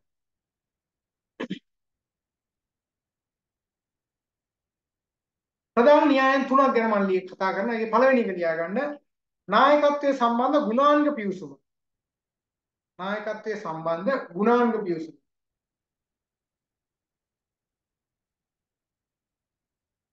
ගුණාංග පිවිසුම. සර් ඒක ලියන්න පුළුවන්ද? මොකද්ද? ඒක ලියන්න පුළුවන්ද සර්? පැහැදිලි නෑ කි. නායකත්වයේ සම්බන්ධ ගුණාංග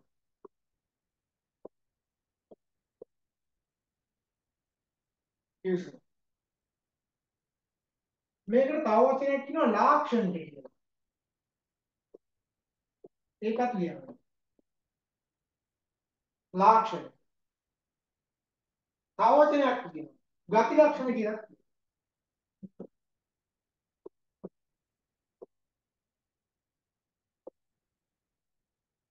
ඔය වචන තුනක් පාවිච්චි කරනවා.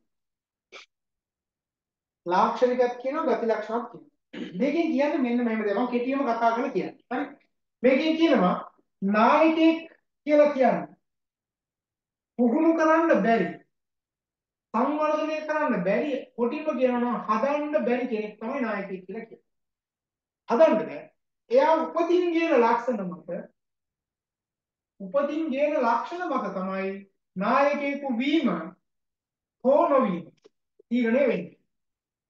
හරි? එතකොට මේක ඇත්තටම අදට ගැලපෙන්නේ නැහැ. නායකයෙකු වීම හෝ නොවීම උපතින් ගේන ගති ලක්ෂණ මත තීරණය වෙන බව මේ න්‍යායය කියනවා. මේක ඉතිහාසයට හරි. දැන් රජ රජතුමාගේ පුතා රජ වෙනවා. නේද? ඒතර අන්න ඒක හරි. හැබැයි අද වෙද්දි එහෙම එකක් නෙවෙයි තියෙන. අද අපි කියන අපි අපි විශ්වාස කරනවා අද පුහුණුවා සංවර්ධනය තුලින් හිත නායකයෝ තනන්න පුළුවන් කියලා ඉතිහාසයට ඕක හරි ගියාට වර්තමානයේ තරම ගැලපෙන්නේ නැහැ. කොහොම නමුත් ඒකේ ගම්ම යන කාරණා ටිකක් තියෙනවා. මොකද අර මම ඔයාලට කිව්වා අර RN 40ක් එනවා කියලා. RN 40ක් එනවා. 60 වෙනස් කරගන්න පුළුවන්. ඒතර ඒ නිසා සමහර නායකයෝ බිහි වෙනකොට හොඳ ව්‍යාපාරිකයෝ බිහි වෙනකොට මේ පෞල් පසුබිමත් එක්ක ඒක නිර්මාණය වෙනවා නේ. කරලියට එනකොට බලන්න හොඳ නායකයෝ අද ඔයාලා නායකයෝ කියලා දකින්නම යන්න උත්සාහ කරන්න හැම වෙලාවෙම දේශපාලනයනේ. මම නම් කියන්නේ ওই දේශපාලන කෝණේ පැත්තකින් කියලා පොඩ්ඩක් බලන්න. මොකද දැන් ලංකාවේ දේශපාලනේ අපිරිය වෙච්ච දේශපාලනයක් තියෙන හේතුව තමයි අර දක්ෂ අය නැතිකම නේද? හැම වෙලාවෙම අදක්ෂයෝ ටික ඒක හරහා පිනුම් ගන්න හින්දා දක්ෂයෝ එතෙන් යන්නේ. ඉතින් දක්ෂයෝ එතෙන් යවන්න පුළුවන් වැඩ පිළිවෙලක් හදන්න පුළුවන් නම් ඔය පාර්ලිමේන්තු කතන්දර ටිකත් ඔයිට වඩා වෙනස් වෙයි. ඔයිට වඩා වෙනස් වෙයි. ඉතින් කරන්න පුළුවන් හොඳම දේ තමයි අඩුම ගානේ උපාධියක්වත් තියෙන කෙනෙකුට පාර්ලිමේන්තු ඉල්ලන්න පුළුවන් කියන තැන අවු ගුරුවරයෙක් වෙන්නත් දැන් උපාධියක් ඕනේ නම් ප්‍රයිමරි ගුරුවරයෙක් වෙන්නත් මේ පාර්ලිමේන්තුවට ඇමති කෙනෙක් වෙන්න කැබිනට් ඇමති කෙනෙක් වෙන්න නේද? නේද? අමාත්‍ය ධූරයක් දරන්න. ඒ සූසුකම් තියෙන්නේ දැන්. ප්‍රාදේශීය ලේකම් කෙනෙක් වෙන්න නිකන් පුළුවන් ඒ ලෙවල් පාස් වුණා කියන බෑ. මේ වගේ ඩිප්ලෝමා කරුවොත් ප්‍රාදේශීය ලේකම් වෙන්න බෑ. කොහොමද ගන්න? උපාධියක් එක පරිපාලන එක්සෑම් එක ලියන්න නේද? ඒක පාස් වෙනවා. එහෙම නැත්නම් පරිපාලනයේ නැතුව වුණත් යන්න පුළුවන්. උපාධියත් එක්කම ඇතුළට ගිහලා ඇතුළේ තියෙන එක්සෑම් ටික ලියන් ලියන් ලියන් ගිහලා යම් දවසක එතන යන්න පුළුවන්. එහෙම නැතුව එතනට යන්න බෑ. ඒතර ඒ නිසා ඊ එයාලට වඩා උඩින් ඉන්න අමාත්‍යාංශ ලේකම්ටත් වඩා උඩින් ඉන්න ඇමතිවරයා එන ක්වොලිෆිකේෂන් තියෙන්න ඕනේ. හැදෙන්නේ නැහැ. නමුත් ක්‍රමවේදයක් තියෙනවා. හදන්න පුළුවන්.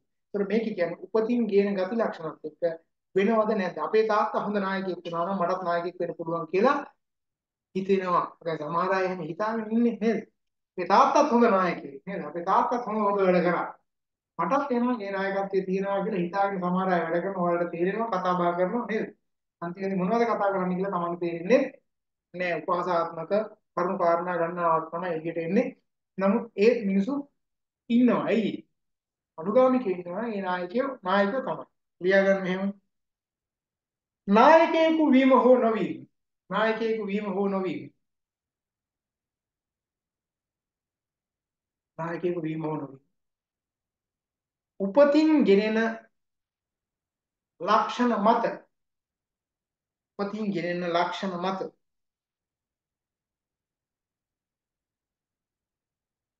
තීරණය වන බව. තීරණය වන බව. මින් පැහැදිලි කරයි.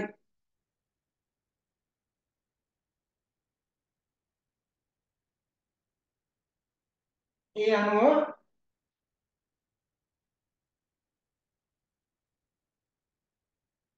නායකයෙකු නිර්මාණය කරගත නොහැකි බව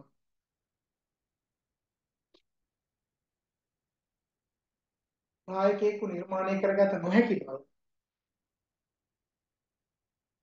මෙම න්‍යායෙන් පැහැදිලි කරයි. ඕකේ තුර මම ගොඩාක් යන්න යන්නේ.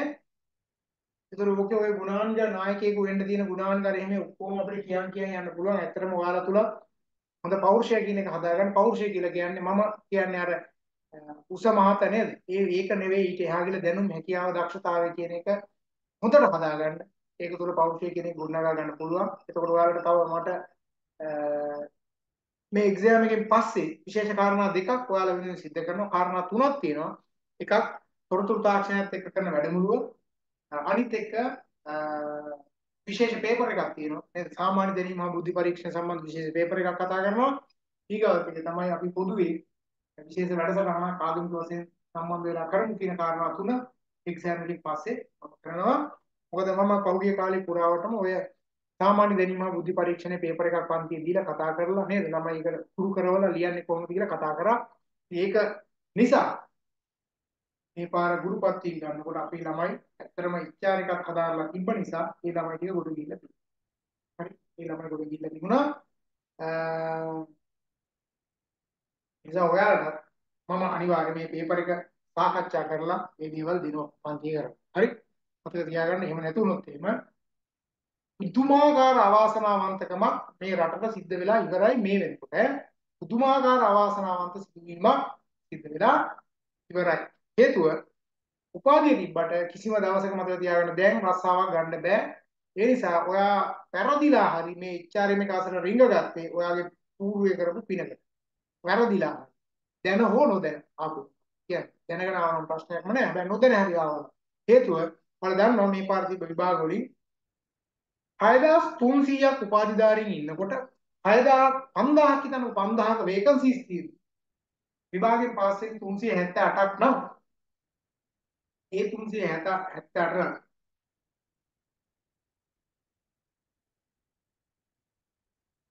බය හිතෙනවා නම් බය වෙන්න ඔයාලා නෙවෙයි. ඔයාලා බය වෙන්න එපා. ඔයාලා බය වෙන්න එපා. ඔයාලා මාත් එක්ක මේ HRM එක හිටපු නිසා ඔයාලගේ දැනුම සෑහෙන්න වැඩි. අනිත් අයට වඩා සෑහෙන්න වැඩි. එහෙනම් ඔයාලා බය වෙන්න එපා. 378 හිටිය අපේ ළමයි. ෆේල් වෙච්ච තැන හිටපු කවුරුත් නම් මට කතා කරලා නැහැ. මම මේ කියන්නේ. ඒ 378ට යන්න පුළුවන් වුණා අපේ ළමයි.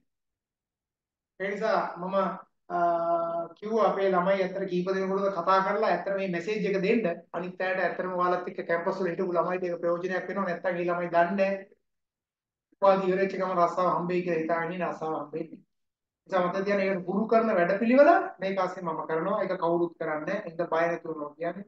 ඊයේ පාරත් අපේ සැලකිලි ක්‍රමයන් ප්‍රමාණයක් වල ගන්න 1500 2000 කවුන්ට් කරවුවේ එක බැච් එකක් ඇතුලේ. ඒ එක කරේ මම ඔයාලත් එක්ක එකතු වෙලා ඔයාලගේ පණිවිඩයට තමයි අනිත් යාළුවෝ ටිකත් ඒ ආවේ.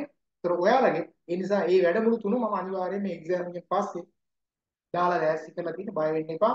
ඒ විතරක් නෙවෙයි මම සමහර ළමයිට ඔය එක්සෑම් වලට යන්න කලින් වෙනවම අතිරේක සල්ලි අරන් නෙවෙයි ෆ්‍රී එක්සෑම් යන්න ඉන්න ළමයිට මම පේපර් කරලා දුන්නා. හරි? ඒක මම බොහොම කැමැත්තෙන් පරීක්ෂාවෙන් කරපු වැඩක්. මම පේපර් කතා කරලා දුන්නා. ඔය විභාග වලට යන්න ඉන්න ළමයිට ඒ වගේම පරිපාලන විභාගයට ඉන්න ළමයිට අපේ ළමයිට මම ඉතින් කරලා දුන්නා. එහෙනම් ඔයාලා බය වෙන්න එපා. මේක ඇතුලේ ඉන්න හැමෝටම මම ඒ උදව් කරනවා. එළිය ළමයි නෙවෙයි. එතන ඉඳලා එළියට යන ළමයි විශ්වවිද්‍යාල 18 මයි මේක ඉන්නවා. ඒ ඉන්න හැමෝටම මම ඒ උදව් කරනවා. එහෙනම් බය වෙන්න එපා. දාලා තියෙන සර් අපි උපාධි ගත්තා. ගුරු විභාගේ ෆේල් වෙයිද කියලා.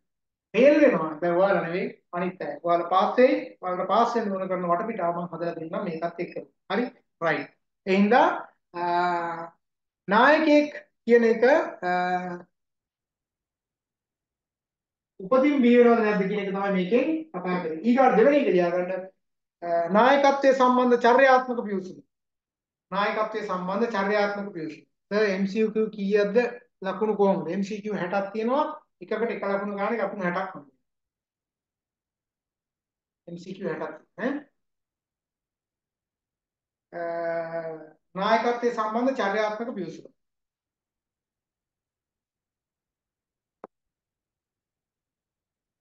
එතකොට මේකෙන් කියන්නේ නායකයෙකු වීම හෝ නොවීම උපතින් ගෙන ලක්ෂණ මත නෙවෙයි පූර්ව හා සංවර්ධනය තුළ නායකයෙකු නිර්මාණය කරගත හැකි බව තමයි මේ න්‍යායය කියන්නේ. හරි සරලවම එච්චරයි. නායකයෙක් හදන්න පුළුවන්.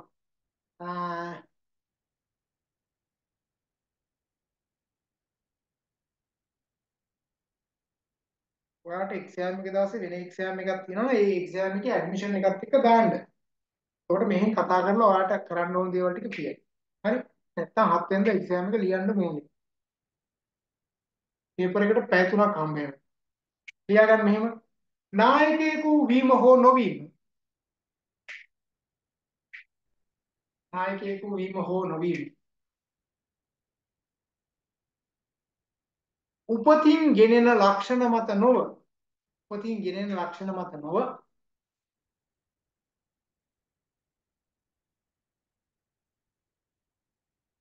පුහුණුව හා සංවර්ධනය තුලින්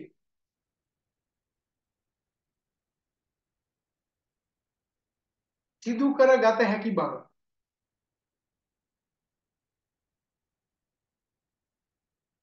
එනම්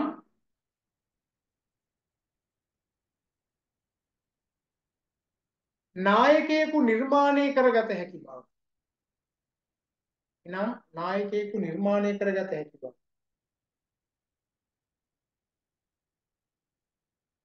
මින් පැහැදිලි කරයි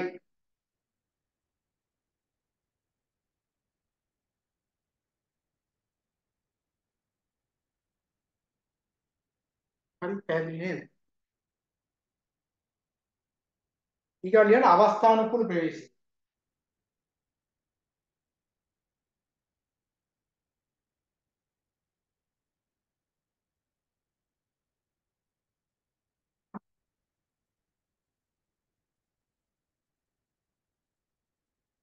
හරි අවස්ථානුකූල ප්‍රවේශය කියලා කියන්නේ නායකයෙකු වීම හෝ නොවීම අවස්ථානුකූල සාධක මත සිද්ධ වෙන බව. තේරුණාද? එතකොට මේ කියන ඒවා නෙවෙයි. දැන් මෙතන අවස්ථානුකූල සාධක කියලා කියන්නේ අපි කියන්නේ සිටුේෂන් අප්‍රෝච් එක. ඒ කියන්නේ මේ මේ මේ වෙලාවට නේද? නායකයෙකු බිහි වෙනවා. දැන් හිතන්න රටේ ජනාධිපති අවස්ථානුකූල බිහි වෙච්ච නායකයෙක් රනිල් වික්‍රමසිංහ මහත්තයා. ඇයි? ඇත්තටම සජිත් ප්‍රේමදාස මහත්තයා කතා කරා කියනවා නේද? ඔය කියන හැමෝටම කතා කරා කියලා කිව්වා අගමැතිකම ගන්න කිව්වා ඒකට ගත්තේ නෑ නේද? කයිය ගන්නවා විතරයි. අවසානයේ ජනාධිපතිතුමා එතුමා අවස්ථානුකූලව බිහි හරි? එකක් ඇත්තටම අවස්ථානුකූල නායකත්වය. එහෙම නැත්නම් අපි යම් තැනක ඉන්නවා හදිස්සි අවස්ථාවක ගින්නක් ඇති වෙනවා. මේ ගින්න වෙලාවේ මැදට පැනලා කියනවා අරක දාන්න මේක දාන්න හෙට ගෙන්න මෙහෙට ගෙන්න කෑ ගන්න. ඇක්සිඩන්ට් එකක් වෙච්ච වෙලාව සමහරලාට මැදට පැනලා කෑ ගන්න නේද? අවස්ථානුකූලව. සමාදානයක් කරන්න ගියාට පස්සේ මැදට පැනලා කෑ ගන්න. ගමනක් ගිහිල්ලා කැලේ ගිහිල්ලා අතරමං වෙනවා. නායකයෝ නෑ කවුරු. හැබැයි මැදට පැනලා නායකයෙක් බිහි වෙනවා. ඒතකොට ඒකට අපි කියන්නේ අවස්ථානුකූල සාධකමක් තමයි ඒ නායකයා බිහි වෙන්නේ. ඔයාලගේ ජීවිතේට මම කතාවක් කියන්නම්. හේතුව තමයි යම් කිසි ගමනක් යනකොට. හරිද? ඔයාලා දන්නා සමකාලීන යාළුවෝ යනවනේ. එකම වයසේ එකම මට්ටමේ ඉන්න යාළුවෝ යනවා. මේ ඔක්කොම යාළුවෝ. යාළුවෝ ගමන යනකොට නායකයෝ ඉන්නවද? නායකයන් නැත. ඒක ඔයාලා දැකලා තියෙනවා. ගඟේ ගිහිල්ලා මැරිලා. දියැලෙන් වැටිලා මැරිලා. නේද? මේ මේ වගේ සිදුවීම් ඔක්කොම වෙන්නේ මොකද්ද? මේ සමකාලීනව ගිය තමයි මෙහෙම වෙන්නේ. හරි. මේකට හේතුව තමයි මේ යන කණ්ඩායමේ නායකයෙක් නැතිකම. නායකයෙක් හිටියානම් කවදාවත් මෙහෙම වෙන්නේ නැහැ. ඒ නිසා මම ඔයාලට බොහොම අවධානයෙන් කියනවා. ඔයාලා ගමනක් යනවා නම් එහෙම 20ක් 15ක් වෙන්න පුළුවන් 5 දෙනෙක් වෙන්න පුළුවන් 4 දෙනෙක් වෙන්න පුළුවන් එහෙම යනකොට යන්න ඉස්සෙල්ලා තීරණය කරන්න කවුද ඔයාලගේ නායකයා කියලා. එයා කියන දේ තීරණය අනිවාර්ය ක්‍රියාත්මක කරනවා. කවදාවත් ප්‍රශ්නයක් වෙන්නේ නැතුව ආපහු එන්න. ගැටලුවක් නොවි එන්න පුළුවන්. මොකද සමකාලීනව එකට ගියම ඇත්තටම ප්‍රශ්න තමයි. මොකද හේතුව තමයි අර අර කියන නායකයෙක් නැහැ. නේද? නායකයෙක් නැහැ. ඒක මගේ ජීවිතයේ වගේ විශේෂ අවස්ථා කීපයක් තියෙන එකක් තමයි ඔය අපි ඉස්කෝලේ යන කාලේ 13 පන්ති අපේ කොල්ලෝ ටික එකතු වෙලා ගියා වර්ල්ඩ්ස් ලෝකාන්තරේ ගියා. ඒ ලෝකාන්තරේ ගියාට පස්සේ මේකේ අන්තිමේදී ගියාට පස්සේ මම ඔයාලට කතාව කියලා තේ. ඇතුළට මෙතන ඇතුළ වෙන තැන ඉඳන්ම බීලා බීලා නේද? ආය අර උදා අර මේ බොන්ඩෝනේ ඔක්කොම බීලා ඉන්නේ. කරන්න දෙයක් නැහැ නේ කොල්ලෝනේ. වෙන කවුරුත් නැහැ. ගුරු කවුරුත් නැහැ. කොල්ලෝ ටික ලෑස්ති කරන් ගියේ මේ කිව්වේ. ගිහිල්ලා අන්තිමේදී මේකේ ගිහිල්ලා වමනේ දදා බීලා බීලා බීලා ගියා. මම බිව්වේ නැහැ. ඒ තුමා මමද්දීපේකේ සභාපති. ඇත්තට මම බොන්නේ අදටත් එහෙමයි. ඒ නිසා එළින් ඉන්න පුළුවන් ඒ කාලේ හිටියේ මම විතරයි. මම කියලා අර අන්තිමේදී මෙතන ගිහිල්ලා අර ලෝකාංග මෙතන ගලවඩ හිටගෙන ෆොටෝ ගහන්න දාගලා මෙතන මෙල්ල මෙහෙට පස්සේ මට තේරෙනවා මෙතන හරියන්නේ නැහැ කියලා. පස්සේ අර දිග පොල්ලක් කඩාගෙන ඉඳලා මම මුන්ට ගැහුවා. ඒක කකුල් වරා ගැහුවා තමයි මේ කකුල් අර දෙයි දෙයි ගාලා ගැහුවා.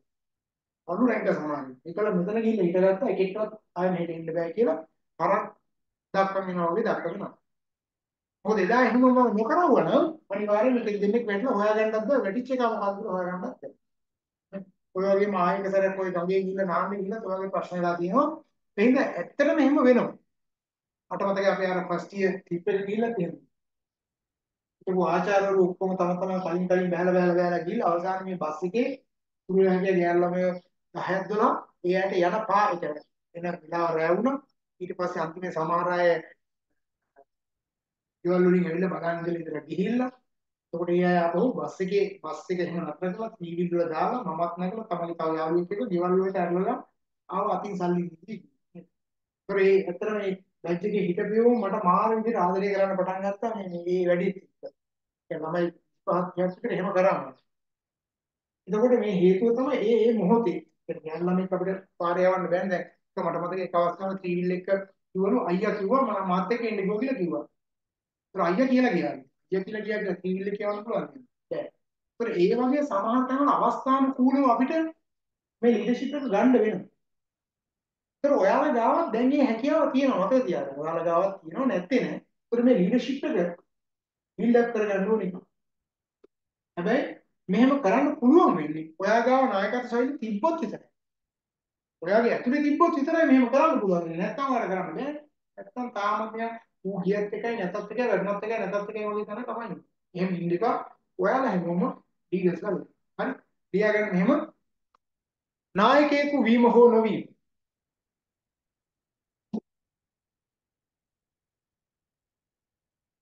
අවස්ථානුකූල සාධකමක්. අවස්ථානුකූල සාධක. සිදුවන බව මින් පැහැදිලි කරයි.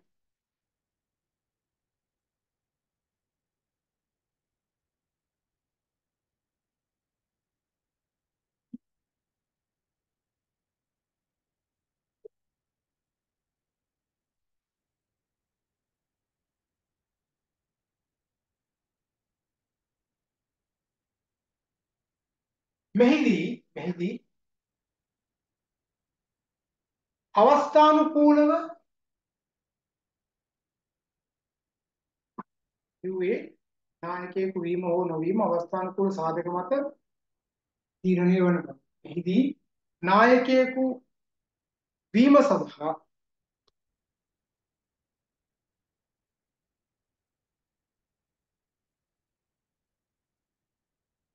අවස්ථානුකූලව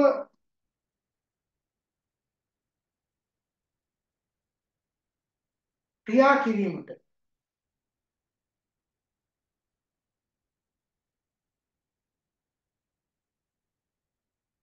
නායකයෙකු තුල පැවතිය යුතු ගති ලක්ෂණ. නායකයෙකු තුල පැවතිය යුතු ගති ලක්ෂණ.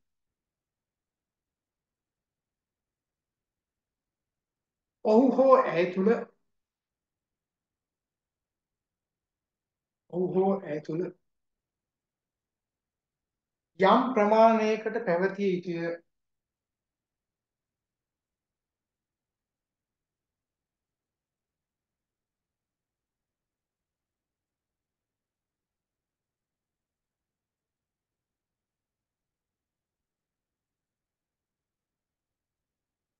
හරිද?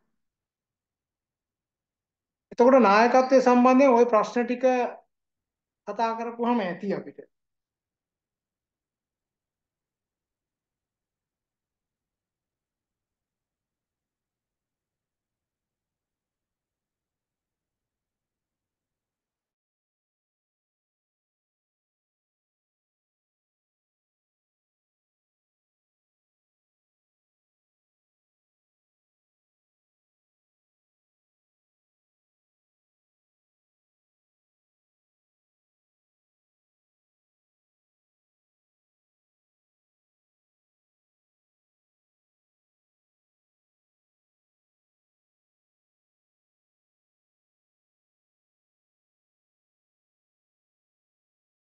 හරිද?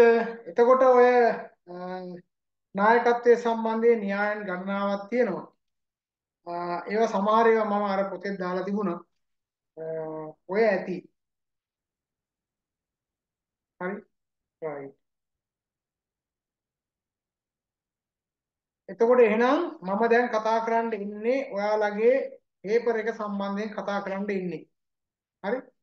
එලින්ම ප්‍රශ්න පත්‍රය ගැන කතා කරන්න ඉන්නේ. ප්‍රශ්න පත්‍රයේ තියෙන්නේ මොනවද කොයි විදිහටද එන්නේ කියන කාරණා පිළිබඳව අපි දැන් බලමු. නෝට් එක එහෙනම් ඔක්කොම පිළිවෙලක් කරලා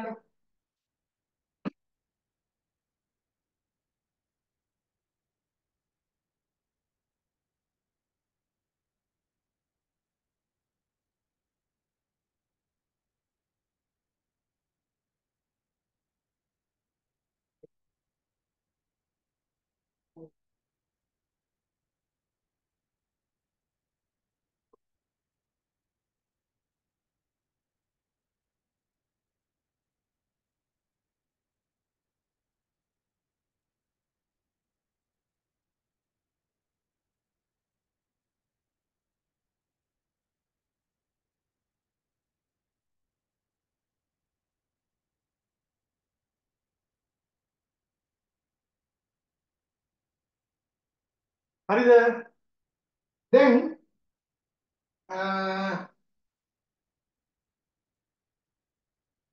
ඔයාලගේ අපි පාඩම් ටික මම පොඩ්ඩක් පොඩි මතකයක් ගත්තොත් එහෙම අපි කතා කරපුවා තිබ්බනේ නේද? එතකොට අපි කතා කරපු පාඩම් තිබුණා මෙන්න මේ කියන පාඩම් ටික අපි කතා කරමු. මොකද්ද?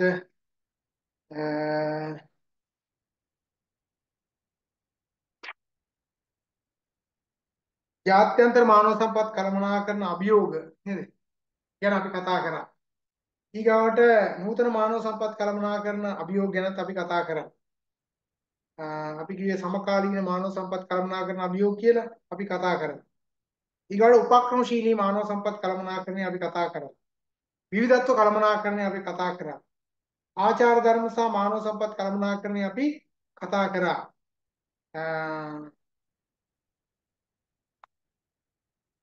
ඊගාවට අපි ගැටුම් කළමනාකරණය කතා කරා. නේද? ගැටුම් කළමනාකරණය අපි කතා කරා. ඊගාවට සංවිධාන චර්යාව අපි කතා කරා. ඒතර සංවිධාන චර්යාව ඇතුලේ පුද්ගල චර්යාව ගැන කතා කරා, සංජානනය ගැන අපි කතා කරා. එවනේ අපි කතා කරේ. පංචවිධ සංකල්පය ගැනත් අපි කතා කරා.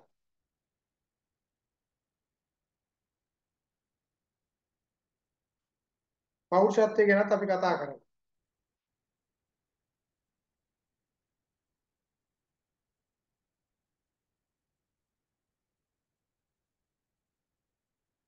අගනාකම් අපි බලය ගැන කතා කරා නේද?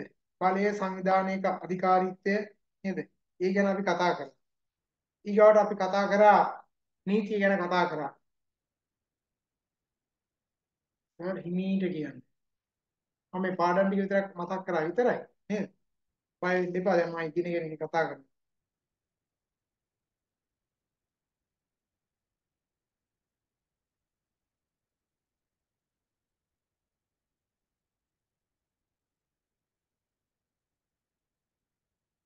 හරි. නීතියේ මූලාශ්‍රයන් ගැන කතා කරා. ශ්‍රී ලංකාවේ නීති පද්ධතිය ගැන කතා කරා. සිවිල් නීතිය සහ අපරාධ නීතිය ගැන කතා කරා. හරිද? මෙන්න මේ කරුණු කාරණා පිළිබඳව මම පුළුල්ව කතා කරලා PDF නෝට් පවා දීලා ඔක්කොම කරලා ඉවර කරා. ඒකට දැන් මම කතා කරන්න ඉන්නේ මේක විභාගයට කොහොම අපිට මේක හම්බ වෙයිද කියන කාරණාව සම්බන්ධයෙන් කතා කරන්න. සිද්ධි අධ්‍යයනය පොඩ්ඩක් කියලා දෙන්නකෝ. අද හරි. සිද්ධි අධ්‍යයනයත් මම කතා කරන්නම්. සිද්ධි අධ්‍යයනයෙන් මෙන්න පටන් ගන්න මතක තියාගන්න මම කතා කරන්නේ මේ සෙකන්ඩ් පේපර් එකට කතා කරන්නේ. දෙවෙනි පේපර් එකට කතා කරන්නේ. දෙවෙනි පේපර් එකේ පළවෙනි ප්‍රශ්නේ තමයි සිද්ධි අධ්‍යයනයේ. සිද්ධි අධ්‍යයනයේ තියෙන පළවෙනි කොටස ඊට පස්සේ දෙවෙනි කොටස සිද්ධි අධ්‍යයනයේ පළවෙනි කොටස තියෙන්නේ මේකේ ඔක්කොම සිද්ධිය දීලා අහනවා. මේ සිද්ධියේ අන්තර්ගත අඩුපාඩු මානව සම්පත් කළමනාකරන ගැටලු දුර්වලතා මොනවද කියලා තමයි මේකෙන් මේකට ලකුණු 10ක් ගන්නවා. ඒවා නිවැරදි කිරීම සඳහා ගත යුතු ක්‍රියාමාර්ග වලට ලකුණු 5ක් ගන්නවා. ඔක ලකුණු 15. දෙවෙනි ප්‍රශ්නේ, තුන්වෙනි ප්‍රශ්නේ, හතරවෙනි ප්‍රශ්නය, පස්වෙනි ප්‍රශ්නේ.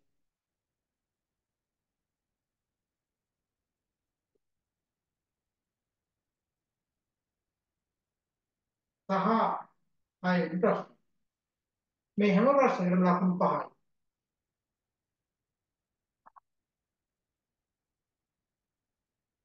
එතකොට මෙතනින් ලකුණු 15යි මෙතනින් ලකුණු 25යි ඔක්කොම ලකුණු 40යි. ඒතර වාගේ පළවෙනි ප්‍රශ්න පත්‍රයේ කෙටි ප්‍රශ්න තියෙනවා එකේ ඉඳන් 60 දක්වා.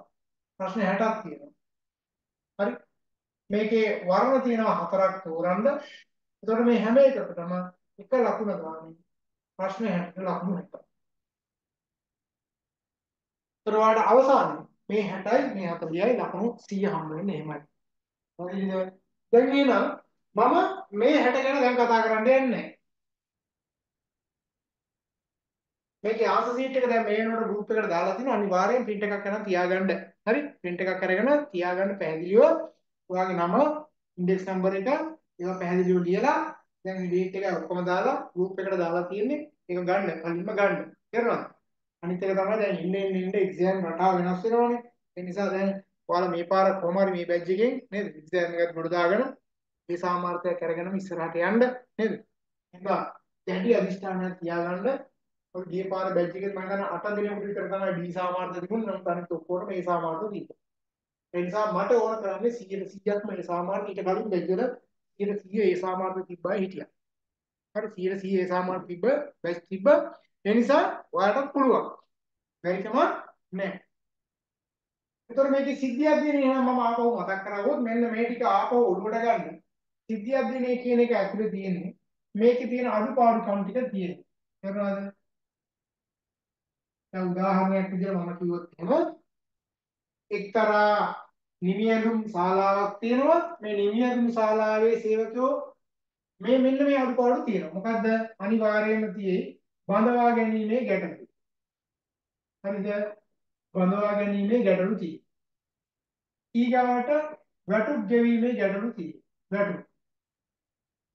ඊට පස්සේ නිවාඩු මේවා තියෙයි. උසස් වීම ගැටලු තියෙයි. හරි. ඊට පස්සේ දඬුවම් ලබා දීම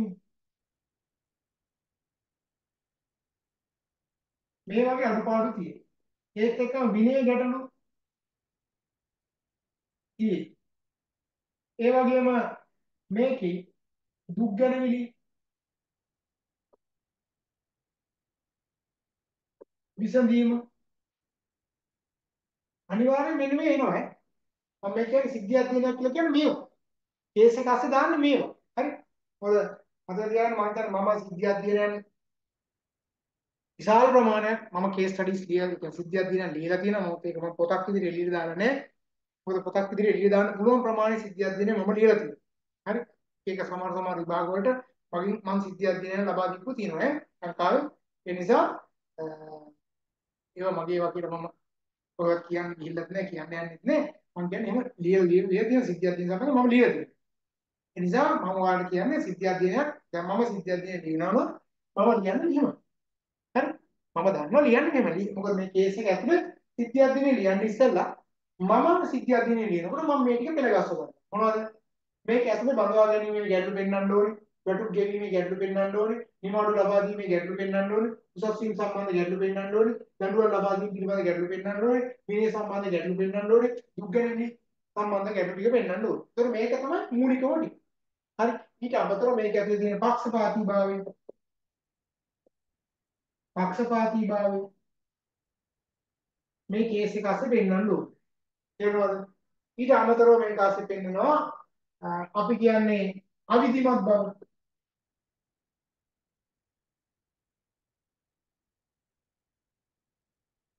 අවිධිමත් භාවය පිළිවෙලක් නැතිකම නේද? එතකොට නීතිමය වටපිටාව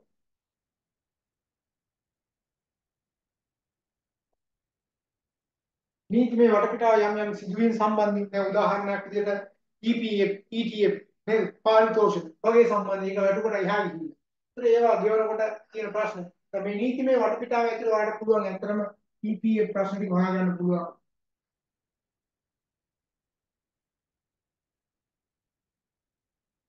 ඒ වගේම ග්‍රැටිවිටි පාරිතෝෂණ හරි පාරිතෝෂණ. ඒතර මෙන්න මේ ටික. මූලිකව මෙන්න මේ පාරිතෝෂණ මෙන්න මේ ටික මේක අස්සේ තියෙනවා. ඊට පස්සේ මේකේ තව අපිට දෙනවා මොකද්ද? සුබ සාධනයේ සම්බන්ධයෙන් ගත්ත පස්සේ ප්‍රවාහන ආහාර නිලැඹේ. නේද? සුබ සාධන පහසුකම්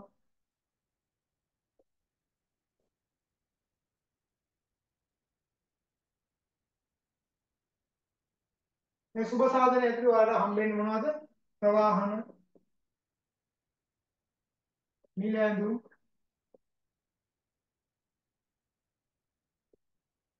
ආහාර මෙන්න මේවා දුන්නේ දෙන එක කපා හැරියා ওই ටික තමයි ඔයාලට අහන්න පුළුවන්. හරිද?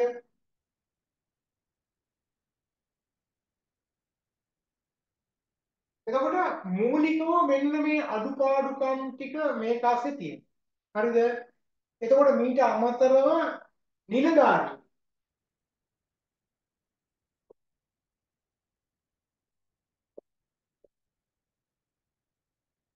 අඩුපාඩුකම්.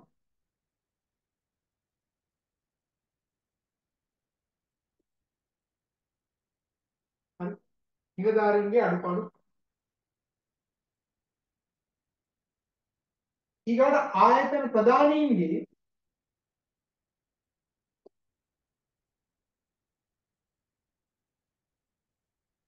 නොසලකී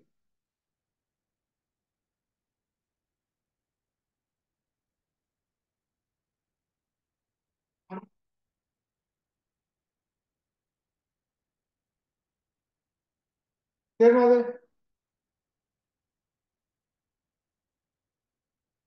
එහෙනම් මතක තියාගන්න ඔයා දැන් මෙතන ලියාගන්න මෙහෙම සිද්ධි අධ්‍යයනය තුල හඳුනාගත හැකි කරුණු කියලා දාගන්න. මෙන්න මෙන්න මේ අඩුපාඩුකම් තමයි තියෙන්නේ උකස්. ඉතින් ওই ටික ආව ගමන් පිටුවක් විදිහට ලියන්න පුළුවන්.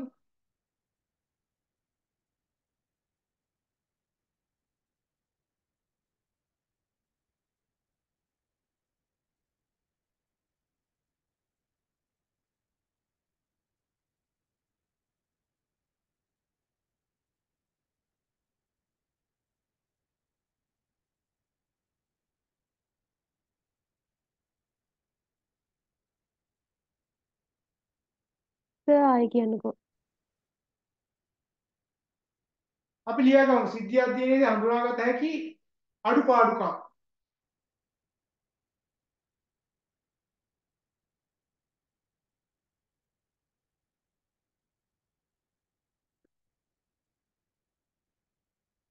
තමයි කරුණු විදිහට දෙන්න ඈ.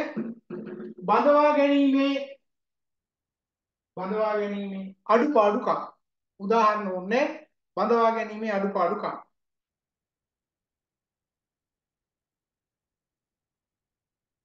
බඳවා ගැනීමේ අඩුපාඩුකම්.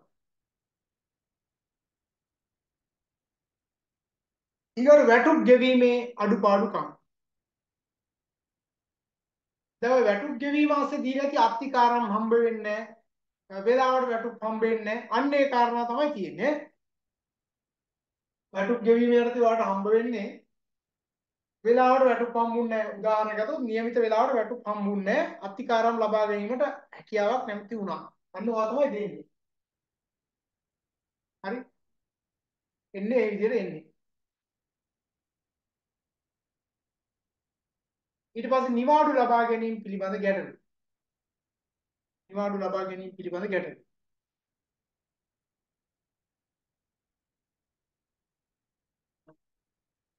එතකොට ඒකේ තියෙන්නේ කොහමද? නිමාඩු දෙන්නේ නැහැ, නිමාඩුවක් ගන්න අමාරුයි. එන්නේ ඒ වගේ ප්‍රශ්න ටිකක් තියෙනවා. තේරෙනවද? අපි හිතමු කාට හරි හදිසි අවස්ථාවකවත් නිමාඩුවක් දීලා නැහැ. ඒකත් නිමාඩුවක් ගත්තා කියලා බැන්නා. එහෙම තමයි කියන්නේ. ඒතර ඔයාලට කියන්නේ නිමාඩු දුන්නා කියලා කියන්නේ සමහරවිට නිමාඩුවක් ගත්තා ඒ සේවකයාට අධික ලෙස බැන්නා. නිමාඩු ලබා ගැනීම සම්බන්ධ. නමුත් ඔවුන්ට නිමාඩු ලබා ගැනීම අයිතිය තියෙනවා. ඒතර නිමාඩුව ලබා ගත්තත් බයිනවා නම් ඒකෙන් පෙන්වන්නේ ඒ කියන්නේ හරියට නිමාඩු ලබා දෙන්නේ නැහැ කියලා. ඊට පස්සේ උසස් වීම ලබා දීම පිළිබඳ ගැටලු. උසස් වීම ලබා දීම පිළිබඳ ගැටලු. එතකොට ඕකෙදි කියන්නේ සමහර සේවකයන් උසස් වීම දීලා නැහැ කියලා කියයි. කියන්නේ නැතුව වක්‍රාකාර කියයි. අපි තුමු නිෂ්පාදන අංශයේ අලවි අංශයේ ඉන්නකොට නිෂ්පාදන අංශයට උසස් වීම දීලා නැහැ අලවි අංශයට දුන්නා කියලා. එතකොට අවිධිමත් ක්‍රියාපටිපාටියක්. සමහර සේවකයෝ નિયમિત වේලාවට උසස් වීම නොලැබීම නිසා ආයතනෙ හැර ගියා කියලා කියයි. ඇති. ඉතින් කියන්නේ එහෙම. ඒකට ඔයා දැනගන්න ඕනේ මෙතන උසස් වීම ක්‍රියාපටිපාටියක් හරියට නැහැ. සමහරවල් සේවකයෝ දෙන්නෙක්ගේ කතා බහක් දෙන්න පුළුවන්. ඔයා ඇවිල්ලා දැන් අවුරුදු 5යි මං ඇවිල්ලා අවුරුදු 8ක් වෙනවා. ඔයාට උසස් වීම හම්බුණා මට උසස් වීම හම්බුන්නේ නැහැ. ඔයාගේ සුසුකම් තමයි මටත් තියෙන්නේ. ඇයි එහෙම උනේ කියලා ඒ වගේ නිකන් දෙබසක් නේද? තියෙන්න පුළුවන්. එතකොට ඒක වෙනවා කියලා කියන්නේ ඒකේ විධිමත් ක්‍රියාපටිපාටියක් තියෙන විධිමත් නෑ කියන එක කියන්නේ. ඉගෙන දඬුවම් ලබා දී.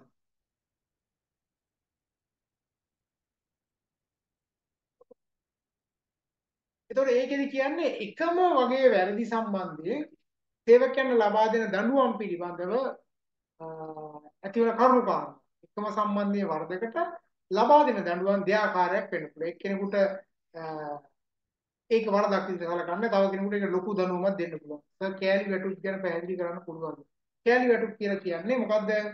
කෑලි වැටුප් කියලා කියන්නේ නිෂ්පාදනය කරන ඒකක ප්‍රමාණය මත වැටුප් ගෙවන එක. දැන් ඔක ගාමන්ට් ෆැක්ටරි වල තියෙනවා. ගාමන්ට් ෆැක්ටරි බේසික් සැලරි එකක් රුපියල් 2000 2500ක් දීලා ඊට පස්සේ නිෂ්පාදනය කරන ඒකක ප්‍රමාණයට තමයි වැටුප් ගෙවන්නේ. ඔය ගල් කෙෂේ වල ගල් කෙෂේ වල ගිහිල්ලා අපි බැලුවම ගල් කෙෂේ වල අර ඌඩ ගානට තමයි ගෙවන්නේ. වැලි ගොඩ දානකොට ඒ වැලි ප්‍රමාණයට තමයි ගෙවන්නේ. ඩොග්ගල් නිෂ්පාදනය කරන නිෂ්පාදනය කරන ඩොග්ගල් ප්‍රමාණයට තමයි වැටුප් ගෙවන්නේ. හරි. මේ කෑලි වැටුප් අදටත් ක්‍රියාත්මක වෙන ලංකාවේ බොහෝ තැන්වල. ඒ කෑලි ප්‍රමාණය මත තමයි වැටුප් ගෙවන්නේ. හරි. ඒක කෑලි වැටුපට අදාළව පාරිතෝෂික ගන්න විදිහත් මම කතා කරලා තියෙනවා. නමුත් කෑලි වලට ප්‍රාර්ථෝසික දෙනවා කියන්නේ නිකන් කලාතුරකින් කරන වැඩක්. එහෙම අපේ ලංකාවේ. ETF ගැන අහලා තිනවා මම ආයෙත් ඕනනම් ඉස්සරහට කරන්න මෙතන. හරි? ඊට පස්සේ විනය ගැටලු. විනය ගැටලු. විනය ගැටලුත් ඔය දඬුවම් කිරීමත් එක්කම පැනලා ගින එකක්. මොකද සේවකයන්ගේ විනය සම්බන්ධයෙන් ක්‍රියාත්මක වෙන විදි දෙආකාරයක් වෙන්න පුළුවන්. සමහර අය ක්‍රියාත්මක වෙන විදිහ දැන් අර මම ඔයාලට කේස් ස්ටඩි එකේදී කතා කරන අර කොටකල් සමග ගහගෙන ස්කූලේ විතර වැඩ කරනවා කියන නේද? එහෙම වෙන්න පුළුවන්. දැන් සමහරවිට කර්මක් කියන එක නම් අපිට ප්‍රශ්නයක් නෑ. කොටකල් සමග ගහගෙන වැඩ කරන්න පුළුවන්. නමුත් මම අර මගේ යාළුවෙක් හම්බුණා ඔය බොහොම හිතවත් සර් කෙනෙක් ගිය දවසේ මේ සර්ගේ ඔය පළවෙනි පත්වීම තමයි ඔය ගලපිට ගමක ගොඩේ කියලා අර මේ දවස්වල YouTube එකෙන් දාන්නේ. ඒ ඉස්කෝලේ පළවෙනි පත්වීම කියලා කිව්වා. ඉතින් අර ඉස්කෝලේ අතරම හතර දිනක් ඉන්න ඕන තැනට එයා දිනෙක එක තමයි වැඩ කරා කියලා කිව්වා. එතකොට මාස දෙකකට සැරයක් එනවලු ඇවිල්ලා සති තුනක් විතර නිවාඩු ගන්නවා. හරි. ඒතර ඒ ප්‍රින්සිපල් එක කතා කරන චෙක් පොලේ අස්සම් කරගත්තාට පස්සේ චෙක් පොලේ අරගෙන ඇවිල්ලා මාරු කරන්න බෑ. දැන් අද වගේ account එකට සල්ලි වැටෙන්නේ නැහැ ඒ කාලේ.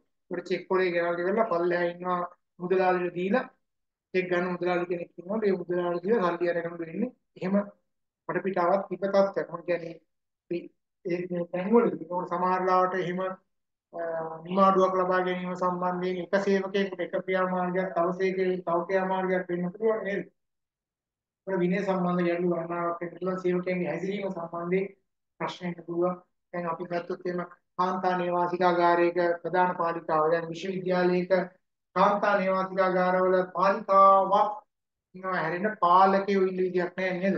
ඒක පාලිකාවන් තමයි ඉන්නේ. ඒතකොට පාලකේ ගියොත් එහෙම එතනට යනවා එනවා නම් ඔවුන්ට ඕන වෙලාවක යන්න එන්න පුළුවන් නම් මම විශ්වවිද්‍යාලයේ මම තමයි සෙක්ෂන් හෙඩ් එහෙම නැත්නම් මම ඩීන් මම උපකුලපති මට ඕන වෙලාවක යන්න පුළුවන් කියලා එහෙම යන්න පුළුවන්.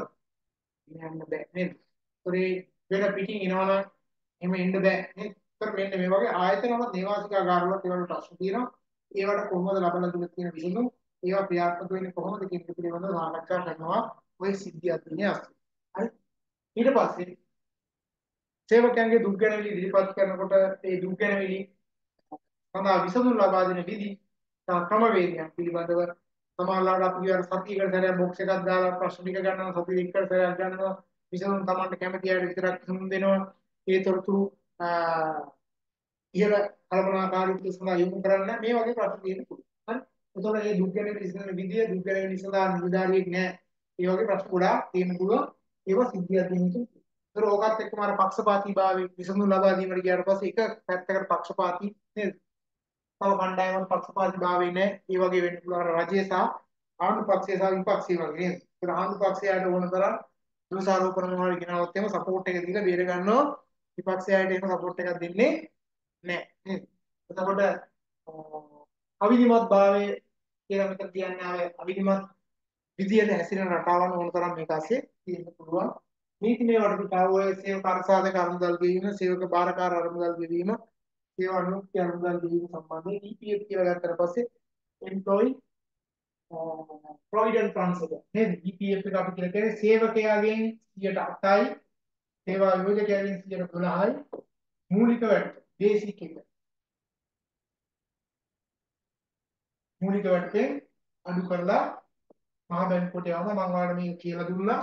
අමාල්ගේ මූලික වැටුප රුපියල් 20000යි නම් සමහරවල් අමල්ගේ මුළු වැටුප ප්‍රසාද දීමන අත්තිකාල ඔක්කොමත් එක්ක ගත්තට පස්සේ 35000ක් වෙන්න පුළුවන්. නමුත් අපි වැටුප ගෙවන්නේ EPF ගෙවන්නේ මෙන්න මේ මූලික වැටුප. අමල්ගෙන් 108ක් කියලා කියන්නේ අපි මෙතනින් අඩු කරනවා අමල්ගෙන් 1600ක් අඩු කරගන්නවා. අපි 2400ක් ආයතනයේ විදිහට දාලා අමල් වෙනුවෙන් රුපියල් 4000ක් මහ බැංකුවේ අමල්ගේ නමින් ගිණුමක් තියෙනවා. අන්නේ ගිණුමෙන් මහ බැංකුවට තැන්පත් කරන්න ඕනේ. ඒතර හැම මාසෙකම මේක කරන්න ඕනේ.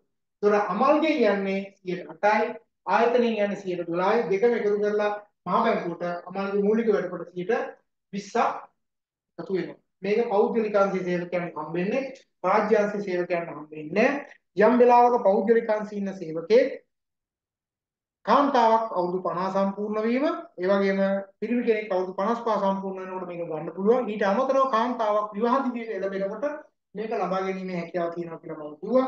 ඒ වගේම රට ආදායම යනවා නම් මේක ගන්න පුළුවන්. ජීවිතාන්තය දක්වා බලපාන යම්කිසි රෝගයක් හැදුනොත් ඒත් මේක ගන්න පුළුවන්. ඊට අමතරව තව රාජ්‍ය සේවයේ ඉඳලා පෞද්ගලික sorry පෞද්ගලික අංශයෙන් රාජ්‍ය සේවයට කවුරු හරි ගියොත් එයාටත් මේක ගන්න පුළුවන්.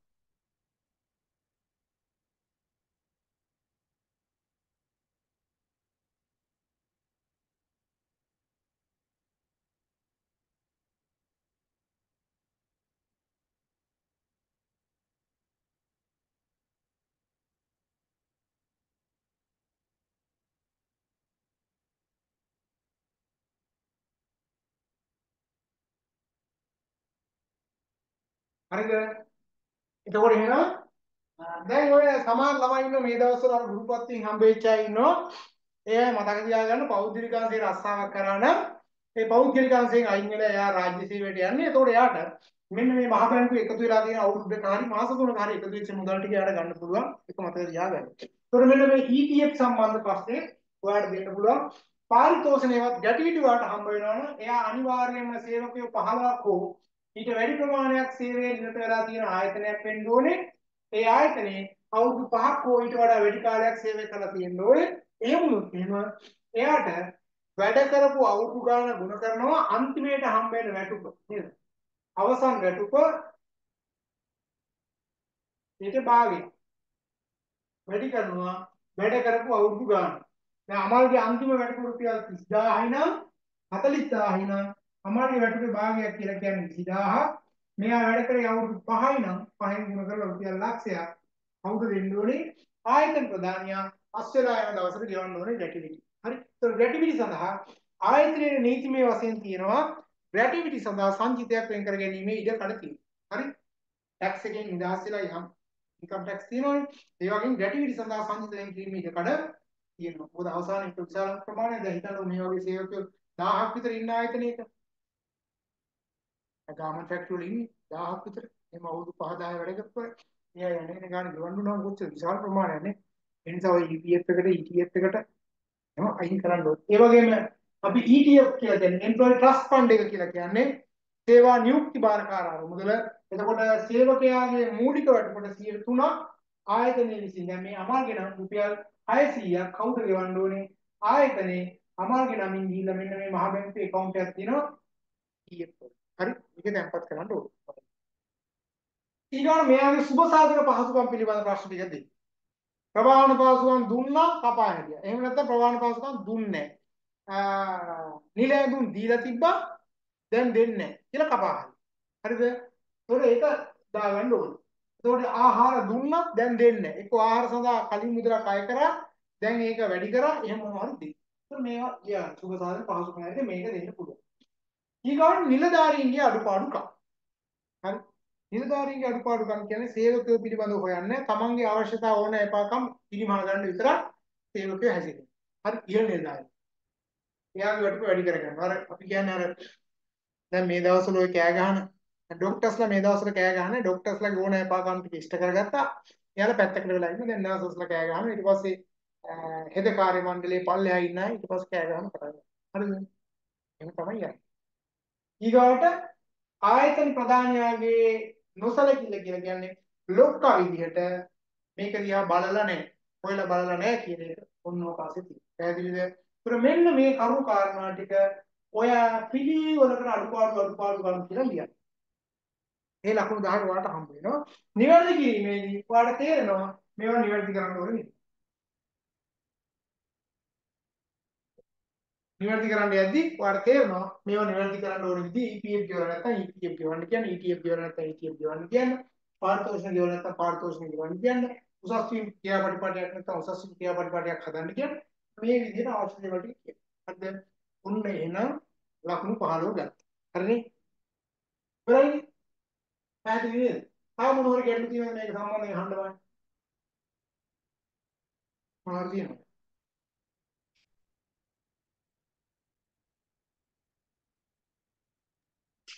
සර් අර පාරිතෝෂික සර් අර පාරිතෝෂික ගෙවන්න කාලයක් තියද ඒක උප මේ ගෙවන්න යන දවසටම නැතුව කාලයකින් ගෙවන්න පුළුවන්ද? නෑ. සාමාන්‍ය සේවක අයින් වෙන සාමාන්‍ය දිනනෝ දැන් මාසයක් වගේ ආයතනයක් ගත්තා කියන එක ලොකු ඉෂුව එකක් නෑ. සාමාන්‍ය නීතිය හැටියට එහෙම මේ මාස 3කින් මාස 6කින් එහෙම එකක් නෑ. සේවකයා අයින් වෙලා යද්දි අනිවාර්යෙන් ගෙවන්න. හරි. ඒතකොට සේවකයන් ලබා දෙන දීමනා විදිහට අපි කියන්නේ ගැටිවිටි ග්‍රැටිවිටි එක ලොකු කාලයක් කරන් කරන්න දෙන්නේ අපි කියන්නේ සේවකයා අයින් වෙලා යනකොට ගෙවන්න. එතකොට දැන් හිතනවා ග්‍රැටිවිටි ඕකේ තියෙනවා ග්‍රැටිවිටි කියලා තියෙන මාස 3කට පස්සේ 6කට පස්සේ 5කට පස්සේ එහෙම වෙන්න බෑ. හරි? ඒතකොට ඒක නීතිය හැටියට ඇත්තටම අයින් වෙලා යද්දී ඒක ගෙවන්න ඕනේ. මොකද ඒ නිසා තමයි ආයතනයේ කියලා කියන්නේ ග්‍රැටිවිටි සඳහා සංචිතයක් තියාගන්න කියලා කියලා තියෙනවා. ඒතකොට ඒ නිසා ඒ සංචිතයෙන් අඩලා අයින් වෙලා යන කෙනාට නබාදි සඳහා ඒ අවස්ථාව තියෙන මොකද කම්පැනි එකක් වෙන ලාභී සංචිත සඳහා පින් කරන්න ඕන. ඔයාලා ගත්තොත් එහෙම විශේෂයෙන්ම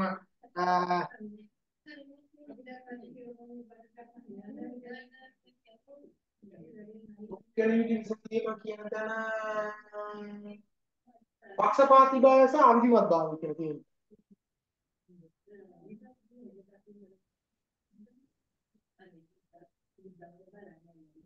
හරි ඒ නිසා ආයතන වල මේ අඩුපාඩුකම් තිබුත් එහෙම අඩුපාඩුවක් තියෙනවා මේක සඳහා ලොකු කාලයක් එහෙම ගන්න සාමාන්‍ය මාසයක් කියන එක අපි සාමාන්‍ය විදිහට සලකන්න පුළුවන්.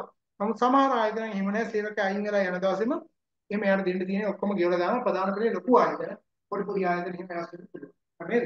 right. වෙන මොනවද තියෙන්නේ? දුක්ගල විසඳීම කියන තැන පහළයන් තිබ්බේ මොකද්ද? පක්ෂපාතී භාවය සහ අනුමත භාවය හරි. දැන් එහෙනම් මම එනවා.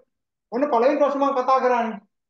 ඔයාලට අනිවාර්යෙන්ම එන දෙවෙනි ප්‍රශ්නේ කියලා කියනවා විතරක් නෙමෙයි. මම දෙවෙනි ප්‍රශ්නේ වෙන්නත් පුළුවන් තුන්වෙනි ප්‍රශ්නේ වෙන්නත් පුළුවන්. හරිද? මම ඒක දානවා දෙවෙනි ප්‍රශ්නේ විදිහට මෙන්න මේ දෙවෙනි ප්‍රශ්නේ විදිහට ගන්නෙ එච්චාරේ මොවා ඉගෙන ගත්තා කියන එක දන්නවා කියන සඳහා ඔය අනිවාර්යෙන් ප්‍රශ්නයක් භාගයෙන් අහනවාම. මානව සම්පත් කළමනාකරණය ඔයා ඉගෙන ගත්තා කියන කාරණාව දැන ගැනීම සඳහා ඔයාගෙන් ප්‍රශ්නයක් අහනවා. ඒ තමයි මානව සම්පත් කළමනාකරණයේ ඇයි ව්‍යාපාරයකට වැදගත් වෙන්නේ කියලා අහන්න. එහෙම නැත්නම් මානව සම්පත් කළමනාකරණයේ නූතන ව්‍යාපාර සඳහා වැදගත් කාර්යභාරයක් ඉටු කරනවා. මානව සම්පත් කළමනාකරු සංවිධානයක ප්‍රධාන නියමුවාවේ එහෙම නැත්නම් මානව සම්පත් කළමනාකරුගේ ප්‍රධාන කාර්යභාරය කුමක්ද? මේ මොනවා වුවත් අහන්න එකම දේ. තේරුණාද? ඒතොර එන අහන්න පුළුවන් මානව සම්පත් කළමනාකරුගේ සාර්ථකත්වයේ සංවිධානයේ සාර්ථකත්වයට කෙසේ ඉවහල් වූයේ. මේ මේ විදිහට අහන ප්‍රශ්නයක් ඔයාගෙන් තියෙනවා. ඒතර මතක තියාගන්න. ඒතර මානව සම්පත් කළමනාකරු සම්බන්ධයෙන් අහන ප්‍රශ්නේදී ඔයා ඉස්සෙල්ලාම මෙන්න මේ දේ ලියන්න. මොකද්ද? මානව සම්පත් කළමනාකරණය නිර්වචනය කරනවා.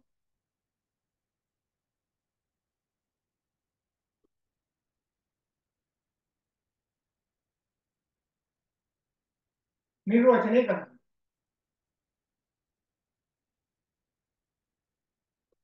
මානව සම්පත් කළමනාකරණය යන සරලවම කිව්වොත් ආයතනික අරමුණු ප්‍රමාණ දිගු කර ගැනීම සඳහා දක්ෂ අපි දක්ෂ සේවකයන් ආයතනය තුළට ආකර්ෂණය කර ගැනීම සහ ඔවුන් දිගු කාලීනව රඳවා තබා ගැනීමේ කාර්යභාරයෙන් අපි කියන්නේ නේද? ඒතර අපි කියන්නේ ආයතනික අරමුණු පරමාර්ථ ඉටු කර ගැනීම සඳහා කාර්යක්ෂම නේද? අපි කියන්නේ කාර්යක්ෂම හා සඵලදායක ආකර්ෂණීය වැඩ පිළිවෙල සිද්ධ කරනවා රඳවා තබා ගැනීම වැඩ පිළිවෙල ආයතනයකට සිද්ධ කරනවා කියන එක තමයි අපි නිර්වචනය කරලා තියෙන්නේ. නිර්වචන කීපයක් මම දීලා තියෙනවා. හරිද? ඒත් මේක නිර්වචනය කරලා නූතන මානව සම්පත් කළමනාකරුගේ කාර්යයන් කියලා කෙටියෙන් දාන්න. හරි? කෙටියෙන් දාන්න මොකද්ද? රැකියා නිර්මාණය රැකියා ප්‍රතිනිර්මාණය ආකා රැකියා ප්‍රතිනිර්මාණය ඊට පස්සේ රැකියා විශ්ලේෂණය රැකියා විශ්ලේෂණය සැලසුම් කිරීම නේද? ඊට පස්සේ අපි කියන්නේ ආකර්ෂණය. ඊට පස්සේ අපි තෝරා ගැනීම. ඊට පස්සේ බඳවා ගැනීම. අනුස්ථාපන. ඊට පස්සේ තව තියෙන මොකද්ද? වැටුප් ගෙවීම නේද? වැටුප් කළමනාකරණය. ඊට පස්සේ පුහුණුව හා සංවර්ධනය.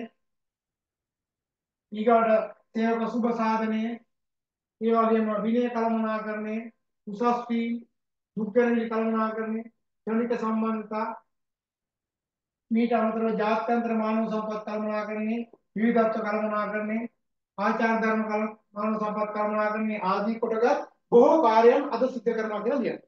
මේක ලකුණු පහට මේක වැඩි වුණාට කමක් නැහැ. තේරුණාද? ඔයා ඉච්ඡාරින් දන්නවද කියලා අහන ප්‍රශ්නේ. තේරුණාද? මොකද මේක හැම අවුරුද්දකම අහන්න හේතුව මේ ප්‍රශ්නේ අයින් කරන්න බෑ. මොකද ඔයා එච්චාරෙන් දැනගත්තා කියලා එයාලා මනින්නේ මෙතන. එතකොට ඔයා ඔයා කියන දේ තමයි එතකොට මෙන්න මේ කියන කාර්යයන් අද වෙද්දි මානව සම්පත් කළමනාකරු සිද්ධ කරනවා. නේද? ඒ නිසා මානව සම්පත් කළමනාකරණයේ සීමිත සම්පත් කාර්යක්ෂම හා සඵලදායී උපයෝජනය කර ගැනීම සඳහා අනිකුත් සියලු අංශ සමග සහ සම්බන්ධ වෙලා කටයුතු කරන නිසා ආයතනයේ අරමුණු පරමාර්ථ ඉටු කර ගැනීම සඳහා ප්‍රබලම සාධකයක් බවට මානව සම්පත් කළමනාකරු පත් වී ඇත. ඉන්ක ලියන්න. ඔයා මේ නිර්වචනය මේ කාරණා ටික ලියපු ගමන් කොහොමද ලකුණු තුනකට එහා කොහොමද හම්බෙන්නේ? තේරුණාද? මේ ටිකයි මේ ටිකයි දෙපා ලකුණු තුනකට අඩු ගන්න හතරක් කියනකොට ලකුණු හතර කොහොමද හම්බෙලා ඉවරයි. හැබැයි ඊට පස්සේ මේ එන්න එකක් ලස්සන කරන්න. ඒක ලකුණු පහක් කොහොමද හම්බෙන්නේ? පැහැදිලිද? ඒක නිර්වචනයයි කාරණා ටික ලියලා ඊට පස්සේ මෙන්න මෙයා ව්‍යාපාරේ සාර්ථකත්වය සඳහා ඉවහල් වෙනවා කියන එක. හරි? අර කාලිතර මුහුණ දෙන්න පුළුවන් ජාත්‍යන්තර සම්බන්ධතාව ගොඩනගා ගන්න පුළුවන් ක්‍රියාත්මක කරන්න පුළුවන්. ඒක නේද මේක ටික වැඩිපුර ලිවර කමක් නැහැ. හරි? මේකට වැඩිපුර ටික ලිවර කමක් නැහැ. ලකුණු පහක් වුණාට පිටුවක් පිරෙන්න ලිවර කමක් නැහැ. මොකද මේකෙන් ඔයාව මයින් උතර බලන්න දැන් මම ලකුණු 20 දැන් මම අරන් දීලා ඉවරයි.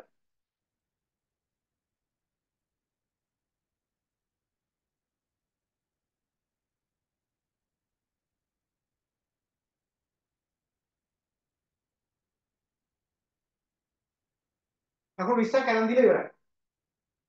එතකොට මේකෙන් පස්සේ තුන්වෙනි ප්‍රශ්නේ ගන්න. තුන්වෙනි ප්‍රශ්නේ එන්න පුළුවන් ඒවා ගණනාවක් එක්ක රෝගات මොනවාද කියලා ගන්න. දැන් ඊගාට අපිට අනිවාර්යයෙන්ම එන තැන තව තැනක් තියෙනවා. මොකද්ද? අභිප්‍රේරණය කියන ප්‍රශ්නේ අනිවාර්යයෙන්ම මොටිවේෂන් එක ගැන අනිවාර්යයෙන් අපිට ප්‍රශ්නයක් එනවාමයි. හරිද? එතකොට අපිට අහන්න පුළුවන් අභිප්‍රේරණ ක්‍රියාවලිය තේරුණාද? එන්න පුළුවන් තැන ලියාගෙන අභිප්‍රේරණ ක්‍රියාවලිය අහන්න පුළුවන්.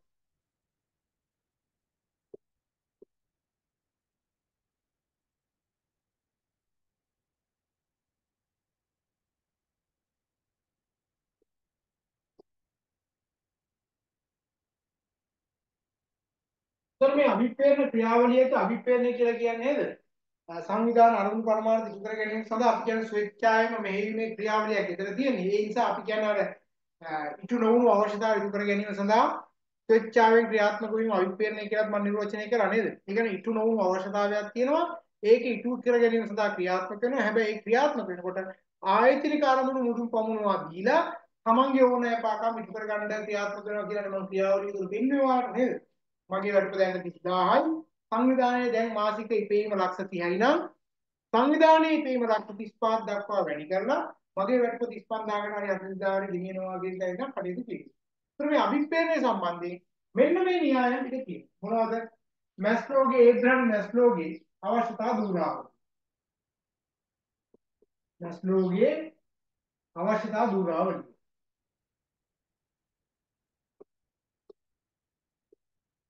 ඊට පස්සේ x හා y න්‍යාය ඩග්ලස් මැක්ග්‍රෙගර් නේද? ඩග්ලස් මැක්ග්‍රෙගර්ගේ x හා y න්‍යාය ෆ්‍රෙඩරික් හර්ස්බර්ග්ගේ two factors theory එක. ද්විසාධක මේකට අපි කියව ස්වස්ථතා. නේද? ස්වස්ථතා න්‍යාය අභිප්‍රේරණ න්‍යාය කියලා කතා කරේ ස්වස්ථතා න්‍යාය අභිප්‍රේරණ න්‍යාය කියලා කතා කරේ මීට අමතරව වික්ටර් රූම්ගේ අපේක්ෂා නියම. ඒතර මතක තියාගන්න. මැස්ලෝගේ අවශ්‍යතා දූරාවලිය x හා y න්‍යාය, ද්විසාධක න්‍යාය, වික්ටර් රූම්ගේ අපේක්ෂා න්‍යාය. මේ හතරෙන් දෙකක් හෝ එකක් අනිවාර්යෙන් එනවා. සමහරවිට දෙකක් සංසන්දනය කරන්න කියන්න පුළුවන්. සමහරවිට එකක් කියන්න. එකක් කිව්වොත් නම් ගොඩාක් කරාට බර තියන්න පුළුවන්.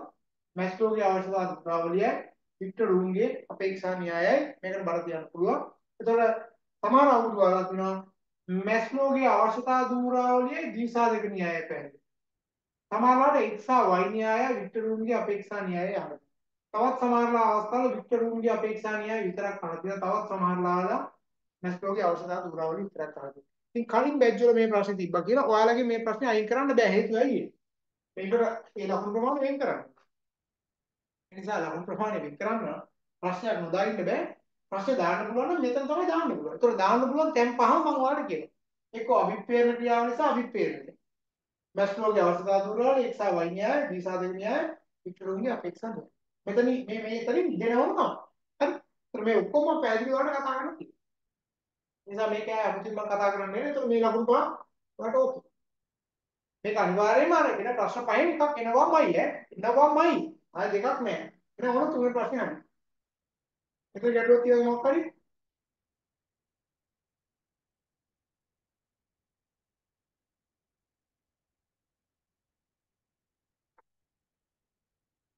දැන් හතරවෙනි ප්‍රශ්නේ. හතරවෙනි ප්‍රශ්නේ අපෙන් අහන්න පුළුවන් තවත් වැදගත්ම concept එකක් තියෙනවා. ඒකත් මම ඔයාලට කියලාම කිව්වොත් එහෙම. අනිවාර්යයෙන්ම වෙන ප්‍රශ්නයක් නිසා අනිත් ඒවා මම අනිවාර්ය නොනේවා ඊට පස්සේ කියන්නේ. අනිවාර්යයෙන්ම අන 50 පිළිබඳව අහනවාමයි. අන 50 පිළිබඳ ප්‍රශ්නයක් අහනවාමයි. එතකොට ඔයාලගේ අනපනත් පිළිබඳ අහන ප්‍රශ්නේදී අහන්න මෙන්න මේ ටික. සේවක අර්ථ සාධක අරමුදල.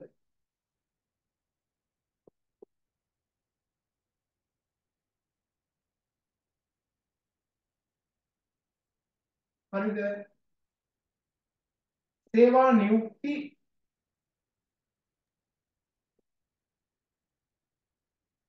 වාර අරමුදල.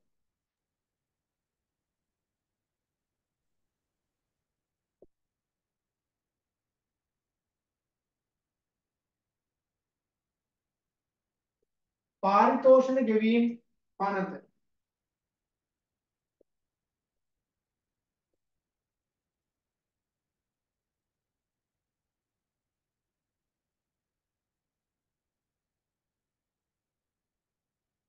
සාප්පු හා කාර්යාල සේවක පනත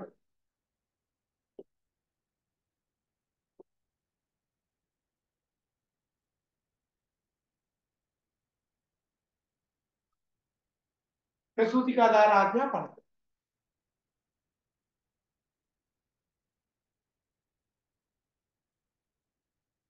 තේරුණාද?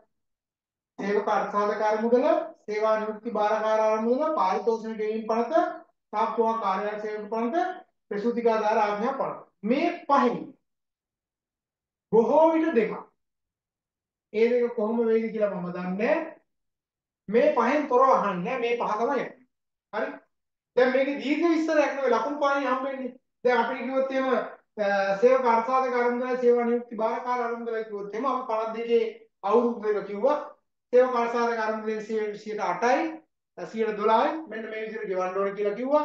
සේවක අර්ථසාධක අරුන්දල විතරක් කිව්වනම් මෙන්න මේ සේවක අර්ථසාධක අරුන්දල සම්පූර්ණ වෙනකොට මෙන්න මේව ගන්න පුළුවන් කියලා කියන්න පුළුවන් අපිට.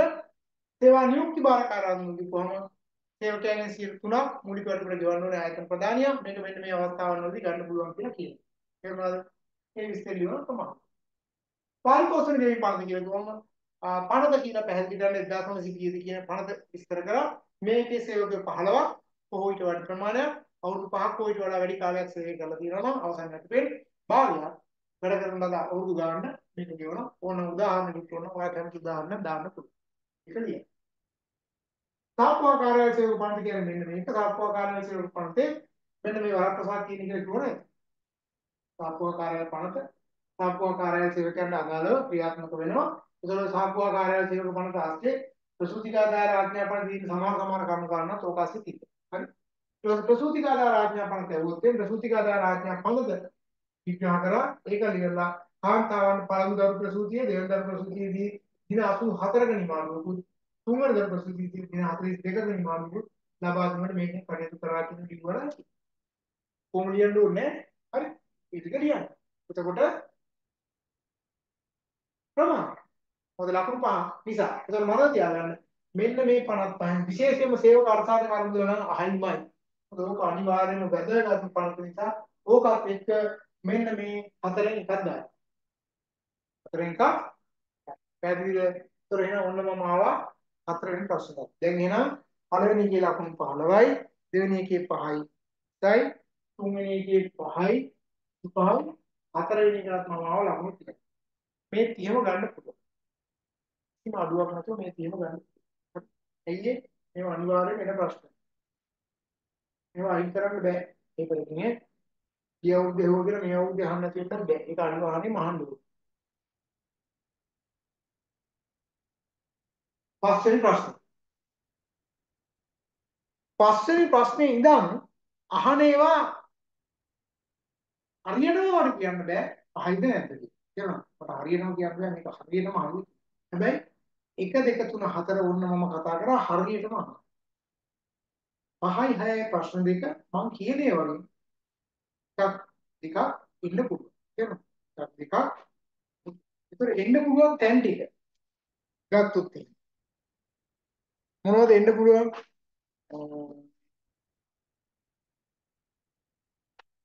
ඔය අපි ගත්ත නූතන මානව සම්පත් කළමනාකරුගේ අභියෝග ගැන කතා කරා නේද?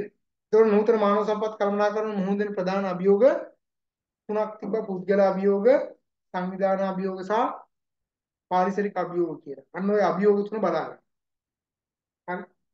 නූතන මානව සම්පත් මානව සම්පත් කළමනාකරු මුහුණ දෙන අභියෝග තුන මොකද්ද? පුද්ගල අභියෝග, සංවිධාන අභියෝග සහ කාර්ය අභියෝග. ඒක එන්න පුළුවන් තැන.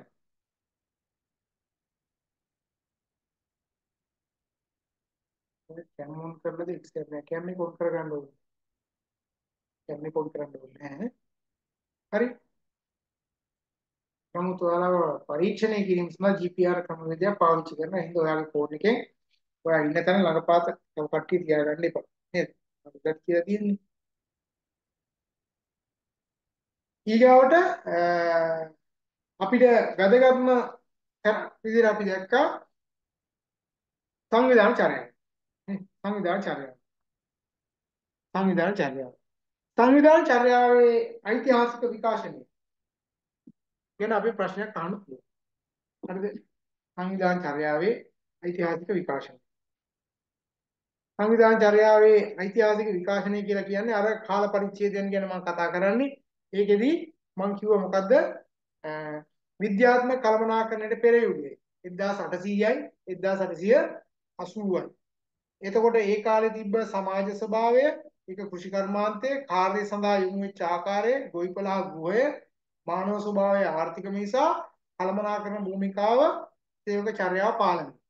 එතකොට ඒකේ අපි දැක්ක සම්ප්‍රදායික යුගයට ආව 1880යි 1930යි. එතකොට සම්ප්‍රදායික යුගයේ තිබුණේ සමාජ ස්වභාවයේ කාර්මික කාර්ය සඳහා යොමු වෙච්ච ආකාරයේ කර්මන්ශාලාව මානව ස්වභාවය තිබුණේ ආර්ථික මිනිසා කර්මනාකරණයේ භූමිකාව තිබුණේ සේවක චර්යාව පාලනය කිරීම.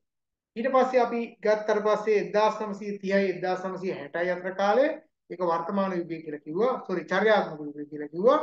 චර්යාත්මක යුගයේදී සමාජ ස්වභාවයේ කාර්මික කාර්යයන් සඳහා යොමු වෙච්ච ආකාරයේ කර්මාන්ශාලාව මානව ස්වභාවයේ සමාජීය මිනිසා කියන කෙනා ඊට පස්සේ කළමනාකරණයේ භූමිකාව සේවක සමාජීය ක්‍රමය නඩත්තු කිරීම කියලා අපි කිව්වා. ඊගාවට අපි ගත්තා වර්තමාන යුගයේ වර්තමාන යුගයේ ගත්තා පස්සේ ඒක 1960න් පස්සේ ඒකේ සමාජ ස්වභාවයේ පසු කාර්මික කාර්ය සඳහා යොමු ආකාරය කාර්යාලය සහ ගෘහය මානව ස්වභාවයේ සංකීර්ණ නිසා ඒ වගේම කළමනාකරණයේ භූමිකාව ගැන කතා කරවොත් සේවක සංවර්ධනය ලබා දීම තමයි මූලික උත්. හරිද? ඒතර ඔන්න යුගයන් හතර පිළිබඳව අපෙන් ප්‍රශ්නයක් අහන්න පුළුවන්.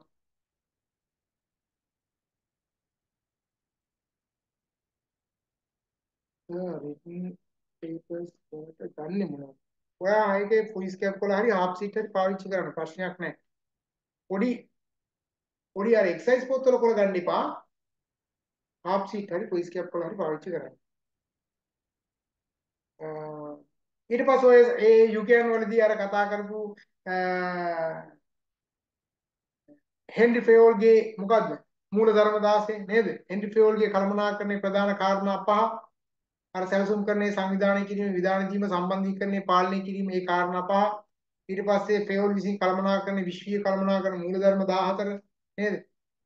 කාර්ය විභජනයේ අධිකාරීත්වය විනය විධාන දීමේ ඒකීභාවය මෙහෙයීමේ ඒකීභාවය පුද්ගලයන්ට මඟ පෙන්වීම පාරිතෝෂණයේ මධ්‍යගත කරන්නේ ස්කාලදාමේ ක්‍රමේ සාධාරණත්වයේ සේවක ස්ථාවරත්වයේ ස්ථාපිත වීම සහ සාමූහික ප්‍රයත්නයේ කියන කාරණා ටික.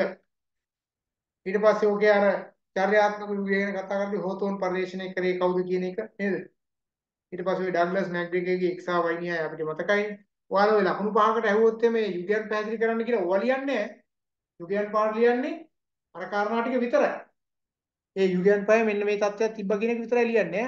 එහෙම නැතු ඔය ඔක්කොට මෙන්න මේ යුගයේ මෙහෙම මෙහෙම තිබ්බා කියලා ඔක්කොම ලියන්න යන්න බෑ. වෙලාව නැති වෙනවා. එච්චර ප්‍රමාණයක් අවශ්‍ය වෙන්නේ නැහැ. පුද්ගල චර්යාව ගැන අපි කතා කරා පුද්ගල චර්යාවේ එතනදී අපි කතා කරා මේ විශේෂයෙන් පුද්ගල චර්යාව ඇතුලේ තිබ්බ ඔය විවාහ විවාහ භාවයේ ලිංග ભેදයේ හැකියාව නේද? මානසික හැකියාවන් ශාරීරික හැකියාවන් පෞරුෂත්වය ගැන අපි කතා කරා. පෞරුෂත්වය ගැන කතා කරනවා සිග්මන්ඩ් ෆ්‍රොයිඩ් විසින් හඳුන්වා දෙන ලද කාරණා පිළිබඳව. ඒ කියන්නේ සවිඥානික මනස අවිඥානික මනස උපවිඥානික උපවිඥානාත්මක මනස ගැන කතා කරා. ඊට පස්සේ ඉත් සංස්කරණය ගැන කතා කරා ඊගෝ සංස්කරණය සහ සුපර් ඊගෝ සංස්කරණය ගැන කතා කරා. ඊට අමතරව සිග්මන්ඩ් ෆ්‍රොයිඩ්ගේ අවදීන් පහ පිළිබඳව කතා කරා. ඒක මුඛ්‍ය අවධිය පාශය අවධිය ශෛන අවධිය අනුශය අවධිය සහ ප්‍රජනන අවධිය පිළිබඳව කතා කරා. ඊට පස්සේ පෞරුෂත්වය සඳහා බලපාන ප්‍රධාන සාධක ගැන කතා කරද්දී සාමාන්‍ය කරුණු පාරිසරික කරුණු සමාජීය සංස්කෘතික කරුණු ආවස්තිත කරුණු ආත්ම සංකල්පය ගැන අපි කතා කරා.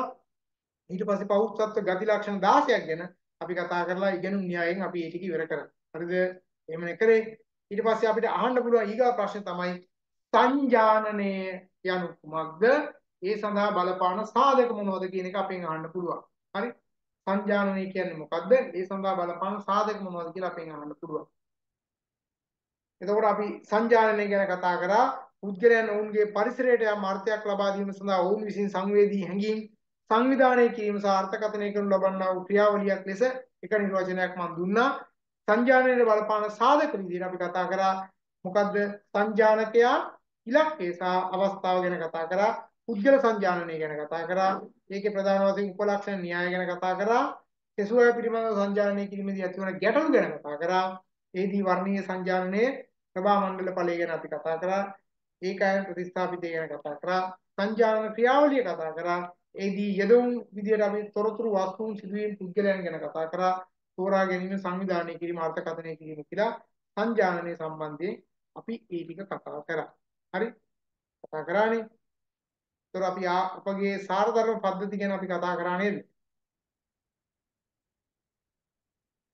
අගනාකම් හයක් ගැන කතා කරේ ප්‍රධාන වශයෙන් ඕල්පොට් සාහුගේ අනුගාමිකයන් හඳුන්වා දුන්න අගනාකම් 6 මතකයිද?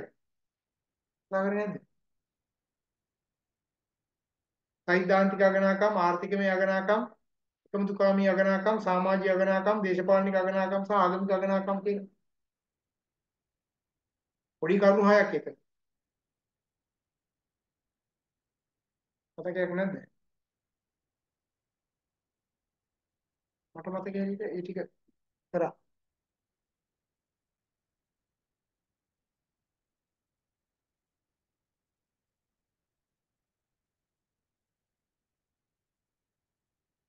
ඒ කාරණා කරේ නෑ කියලා කියනවා. කෙනෙක් කියන්නේ. කලබල වෙන්න එපා. අගනාකම් වර්ග 6ක් තියෙන මම ඒ අගනාකම් වර්ග 6 දෙන්නම්. හරි? ඒ අගනාකම් වර්ග 6 දෙන්නම් බය වෙන්න එපා. හරි? එච්චරයි තියෙන්නේ. අනිවාර්යෙන් මම ඒ කාරණා 6 දෙන්න. ඒ සෛද්ධාන්තික කියන අගනාකම් 6ක් කියන ඕල් පොට් සාහුගේ අනුගාමිකයන් හොයාගත්ත ඉතින් ඉන්න පුළුවන් තැනක් එතන කියන්නේ කිටි පේපර් එකට ආවොත් කිටි ප්‍රශ්නෙකට ඉන්න පුළුවන් තැන මම එකක් දෙන්නම්. හරි. එතකොට අවිපේරණය ගැන අපි කතා කරා ඊගාට බලය සම්බන්ධයෙන් අපි කතා කරා නේද?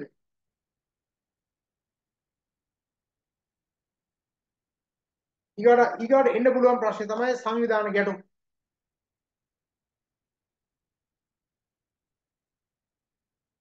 ඒක ඇතුළත් නෝට් එක නැහැ කියලා කියන්නේ අර ආකල්ප සම්බන්ධයෙන් පොඩි කැලලක් චූටි කොටසක්. පෞෂත්වය තිබෙනවත් එක දෙන්න පුළුවන් චූටි කැලලක් මම ඒක එකතු කරන කැලලක්. ඒක මම දෙන්න ඒක කලබල වෙන්න එපා. ඒක කාරණා හයක් තියෙන කාරණා හය දෙන්න. ඊගොල්ලෝ ලියන්න පුළුවන් සංවිධාන ගැටුම්. ඊට පස්සේ සංවිධාන ගැටුම් සම්බන්ධයෙන් ඉදිරිපත් වියදී ප්‍රධාන මතයන් තුනක් තියෙනවා. නේද? සංවිධාන ගැටුම් කියන කුමක්ද? සංවිධාන ගැටුම් සම්බන්ධයෙන් ඉදිරිපත් වියදී මතයන් තුනක් තියෙනවා. මොකද්ද? ගැටුම් පිළිබඳ සම්ප්‍රදායික මතය, ගැටුම් හොඳම නැහැ කියනව නේද? ගැටුම් පිළිබඳ මානව සම්බන්ධතා දැක්ම, ගැටුම් පිළිබඳ අන්තර් සම්බන්ධතා දැක්ම. ගැටුම් හොඳම නැහැ සමහරක් කියනවා නෑ නෑ හොඳ ගැටුම් තියෙනවා. එහෙනම් හොඳ ඒවා වර්ධනය කරලා අයහපත් ඒවා පල්ලෙහා මට්ටමට ගේන්න ඕනේ කියලා අපි කියන්නේ. යහපත් ගැටුම් සහ අයහපත් ගැටුම් කියලා ඒ නිසා ගැටුම් වර්ග දෙකක් අපි හඳුනා ගන්නවා. ඊගොඩ ගැටුම් ක්‍රියාවලිය. හරි ගැටුම් ක්‍රියාවලිය තුළ අපි හඳුනාගත්ත ස්ටේජස් පහ නේද? පළවෙනි පියවර, දෙවෙනි පියවර, තෙවන පියවර සහ ඉවන පියවර සහ පස්වන පියවර කියලා අපි ගත්තා. ඒකෙදි අර කොන්දේසි තිබ්බා. ඊට පස්සේ ගැටුම් මෙහෙයවීම යටතේ අදහස් ගැටවීමේ ගැටුම් මෙහෙයවීමේ අදහස් යටතේ තරඟ කිරීම සන්දානයේ මගේ හැරීම ලැබුම් ගැනීම ගැන අපි කතා කරා. හරි. ওই ටික ගැන අපි කතා කරේ.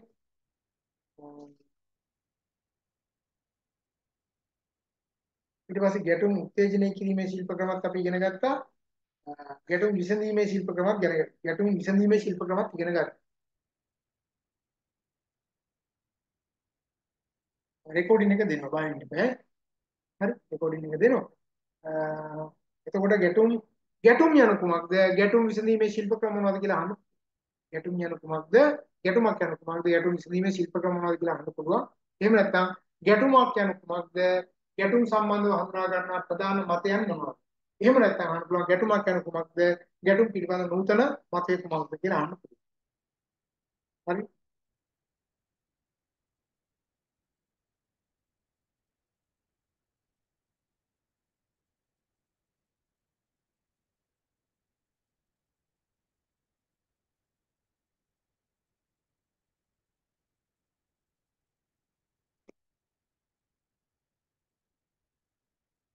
විවිධත්වය වල අපි කතා කරා නේද? මිනිසාට වෙනස් කළ හැකි සාධක සහ මිනිසාට වෙනස් කළ නොහැකි සාධක. ඒතකොට විවිධත්ව කළමනාකරණය කියලා කියන්නේ විවිධ හැකියාවන් දක්ෂතාවයන් තියෙන පුද්ගලයන් සංවිධානය ඇතුළට අරගන්න එක. ඒ අතර මුස්ලිම් වෙන්න පුළුවන්, බර්ග වෙන්න පුළුවන්, හින්දු වෙන්න පුළුවන්. ඒ වගේ විවිධ ආගමික අය ඇතුළට ගන්නවා, සංස්කෘතීන් තියෙන අය ඇතුළට ගන්නවා. විවිධ දක්ෂතාවයන් තියෙන අය ඇතුළට අරගෙන අපි අපේ අරමුණු පරමාර්ථ වෙන ක්‍රියාත්මක වීම විවිධත්ව කල්පනාකරණයේදී අපි කතා කරා. ආචාර ධර්ම පද්ධතියක් ඕන කියලා අපි කිව්වා. ආචාර ධර්ම පද්ධතියත් අපි එතෙන්දී කතා කරා. ඊගොඩ අපෙන් අහන්න පුළුවන් දෙයක් තමයි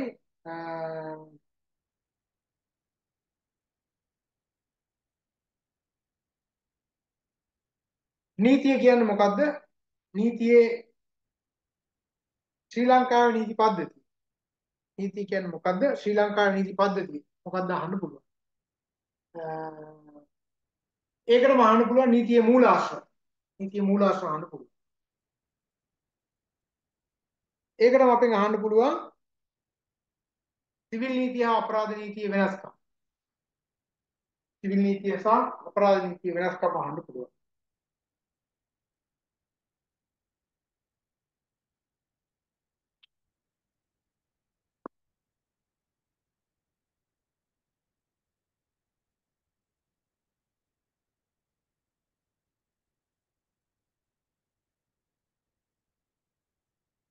ඊගොට අර ඔයාලට මම උගන්වනකොට මේ සාර්ව පරිසරය පැහැදිලි කරන්නත් අහලා තිබුණා ප්‍රශ්න.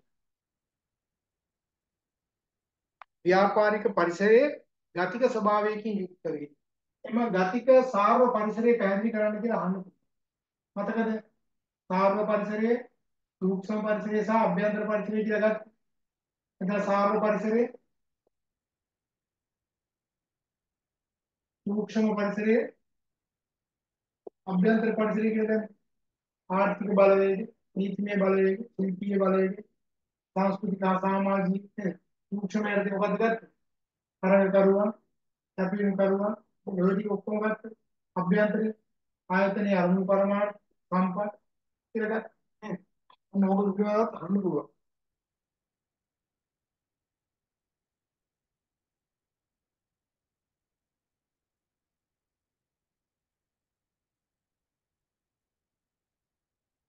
හරිද? එතකොට ඔයාලට පැහැදිලිවම මේ ප්‍රශ්න හතර ඕකේ. මොකද්ද? සිද්ධි අධ්‍යයනයේ හරි. සිද්ධි අධ්‍යයනය වල කතා කරා මේක ඕකේ. මේ සිද්ධි අධ්‍යයනයේ මේ කතා කරපු සිද්ධි අධ්‍යයනය මෙන්න මේක හරි. මේ පළවෙනි ප්‍රශ්නේ. සිද්ධි අධ්‍යයනයේ මේ කතා කරපු පළවෙනි ප්‍රශ්න ඔන්න සිද්ධි අධ්‍යයනයේ මෙන්න මේ ටික තියෙනවා. මේ අනුපාඩු කන් ටික ලියපුවා. වත් බඳවා ගැනීම වැටුම්. නිවාඩු උසස් වීම දඬුවම් ලබා දීම මිනිහ ගැටලු දුර්ගැණි විසඳීමේ ගැටලු අපක්ෂපාතී පිළිබඳ අවදිමත් භාවය පිළිබඳ නීතිමය වටපිටාව යුක්තිය පීටිඑෆ් පාරිතෝෂණ සුබ සාධන පහසුකම් ප්‍රවාහන පහසුකම් ඒ වගේම නිලැඳුම් ආහාර පාන නිලධාරීන්ගේ අඩපාඩුකම් ආයතනයේ ප්‍රධානීන්ගේ නොසලකීම සම්බන්ධයෙන් සිද්ධි අධ්‍යයනය වල ලකුණු පහළ මම කතා කරා ඊට පස්සේ මම කතා කරන්නේ මොකද්ද? දෙවෙනි ප්‍රශ්නේ. දෙවෙනි ප්‍රශ්නේ කතා කරන්නේ මොකද්ද? මානව සම්පත් කළමනාකරණය කරුවා ගැන කතා කරනකොට ව්‍යාපාර සාර්ථකත්වයේ සඳහා මානව සම්පත් කළමනාකරුගේ දායකත්වයේ කෙසේද ඔහු වැදගත් වෙන්නේ කෙසේද කියලා අහන්න පුළුවන් කියලා මම කිව්වා. එහෙම කියපු ගමන් මම කිව්වා මානව සම්පත් කළමනාකරණය කියන එක වචනේ කරන්න මානව සම්පත් කළමනාකරණයේ මූලික කාර්යයන් ටික පෙන්වන්න. ඒ අනුව නූතන මානව සම්පත් කළමනාකරණ ව්‍යාපාර සාර්ථකත්වයේ සඳහා විභාග වේ කියන සාධකයේ පෙන්වන්න. එච්චරයි. ලකුණු පහයි. ඒතර එතනින් ලකුණු 20ක් ආවා. මෙන්න මේ ප්‍රශ්නේ අනිවාර්යෙන්ම මම කියවනවා. අභිප්‍රේරණය සම්බන්ධයෙන් අභිප්‍රේරණය කියන්නේ මොකද්ද? එහෙම නැත්නම් අභිප්‍රේරණ ක්‍රියාවලිය මොකද්ද කියලා හඳුනා ගන්න ඊට පස්සේ අභිප්‍රේරණය සම්බන්ධයෙන් මෙන්න මේ ඇස්ට්‍රෝගේ අවශ්‍යතාව උදාවලිය ඩග්ලස් මැක්ඩෙල්ගේ ඉස්සාව න්‍යාය. පෙටි කර්ස්බර්ගගේ විසාධක එහෙම නැත්නම් ස්වස්ථා ස්වස්ථතා න්‍යාය කියලා අපි කිව්වා.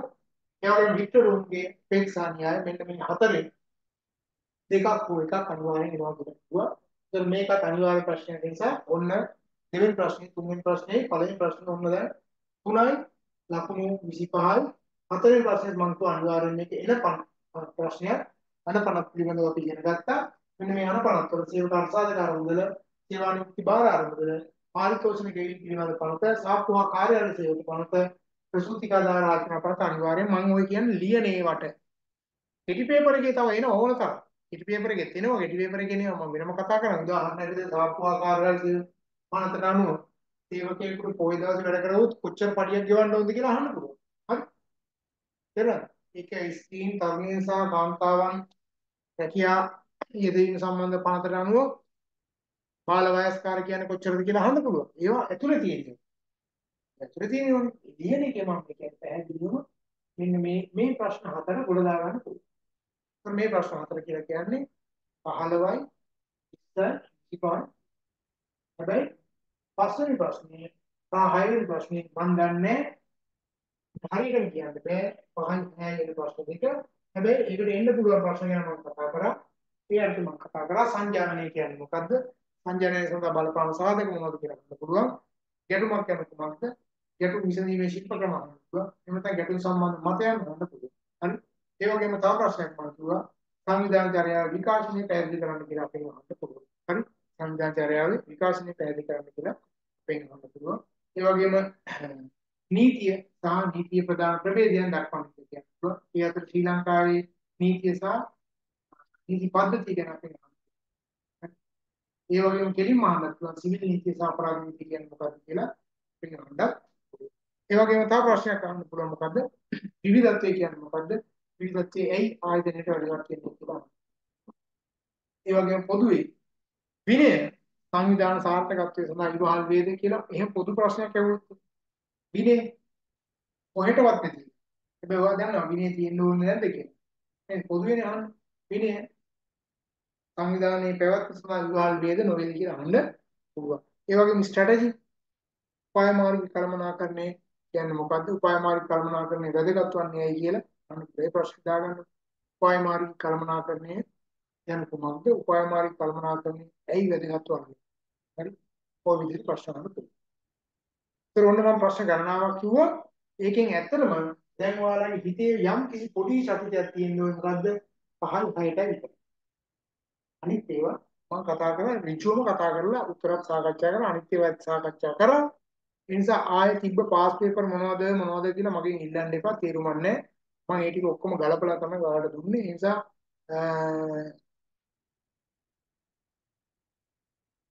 PDF එක අප්ලෝඩ් කරන්න කොච්චර එක්ස්ට්‍රා ටයිම් එකක් දෙනවා සාමාන්‍යයෙන් අපි විනාඩි උපරිම 30ක් දක්වා කාලයක් දෙනවා. ඉන්න බය වෙන්න එපා. ෆයිනල් එක්සෑම් එකට අදාළ ඔක්කොම ටියුට් ටික ආපහු දෙන්න. මම දාලා දෙන්න. හරි? එකක් දාලා දෙන්න. හරි. දැන් ආගන්නකෝ.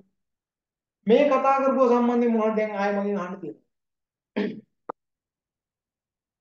තා මොනවාරි අහන්න දෙන්න. කතා කරපුව සම්බන්ධ මගේ ඒකායන අධිෂ්ඨානය සහ පරමාර්ථය ඔයාලා සිදු දෙනාම ඒ සාමාර්ථ ගත යුතුයි කියන තැන සහ ඒකට අවශ්‍ය කරන දේවල් සම්පාදනය කිව්වා. ඒතර මේ වෙනකොට මම ටියුට් ටික දීලා තියෙනවා උගන්වන දේවල් ටික උගන්වලා තියෙනවා. දැන් අද දවසේ කතා කරපු ප්‍රශ්න දිහා බලනකොට ඔයාලට තේරෙනවා සෙකන්ඩ් පේපර් එක දැන් හරියට. හරි?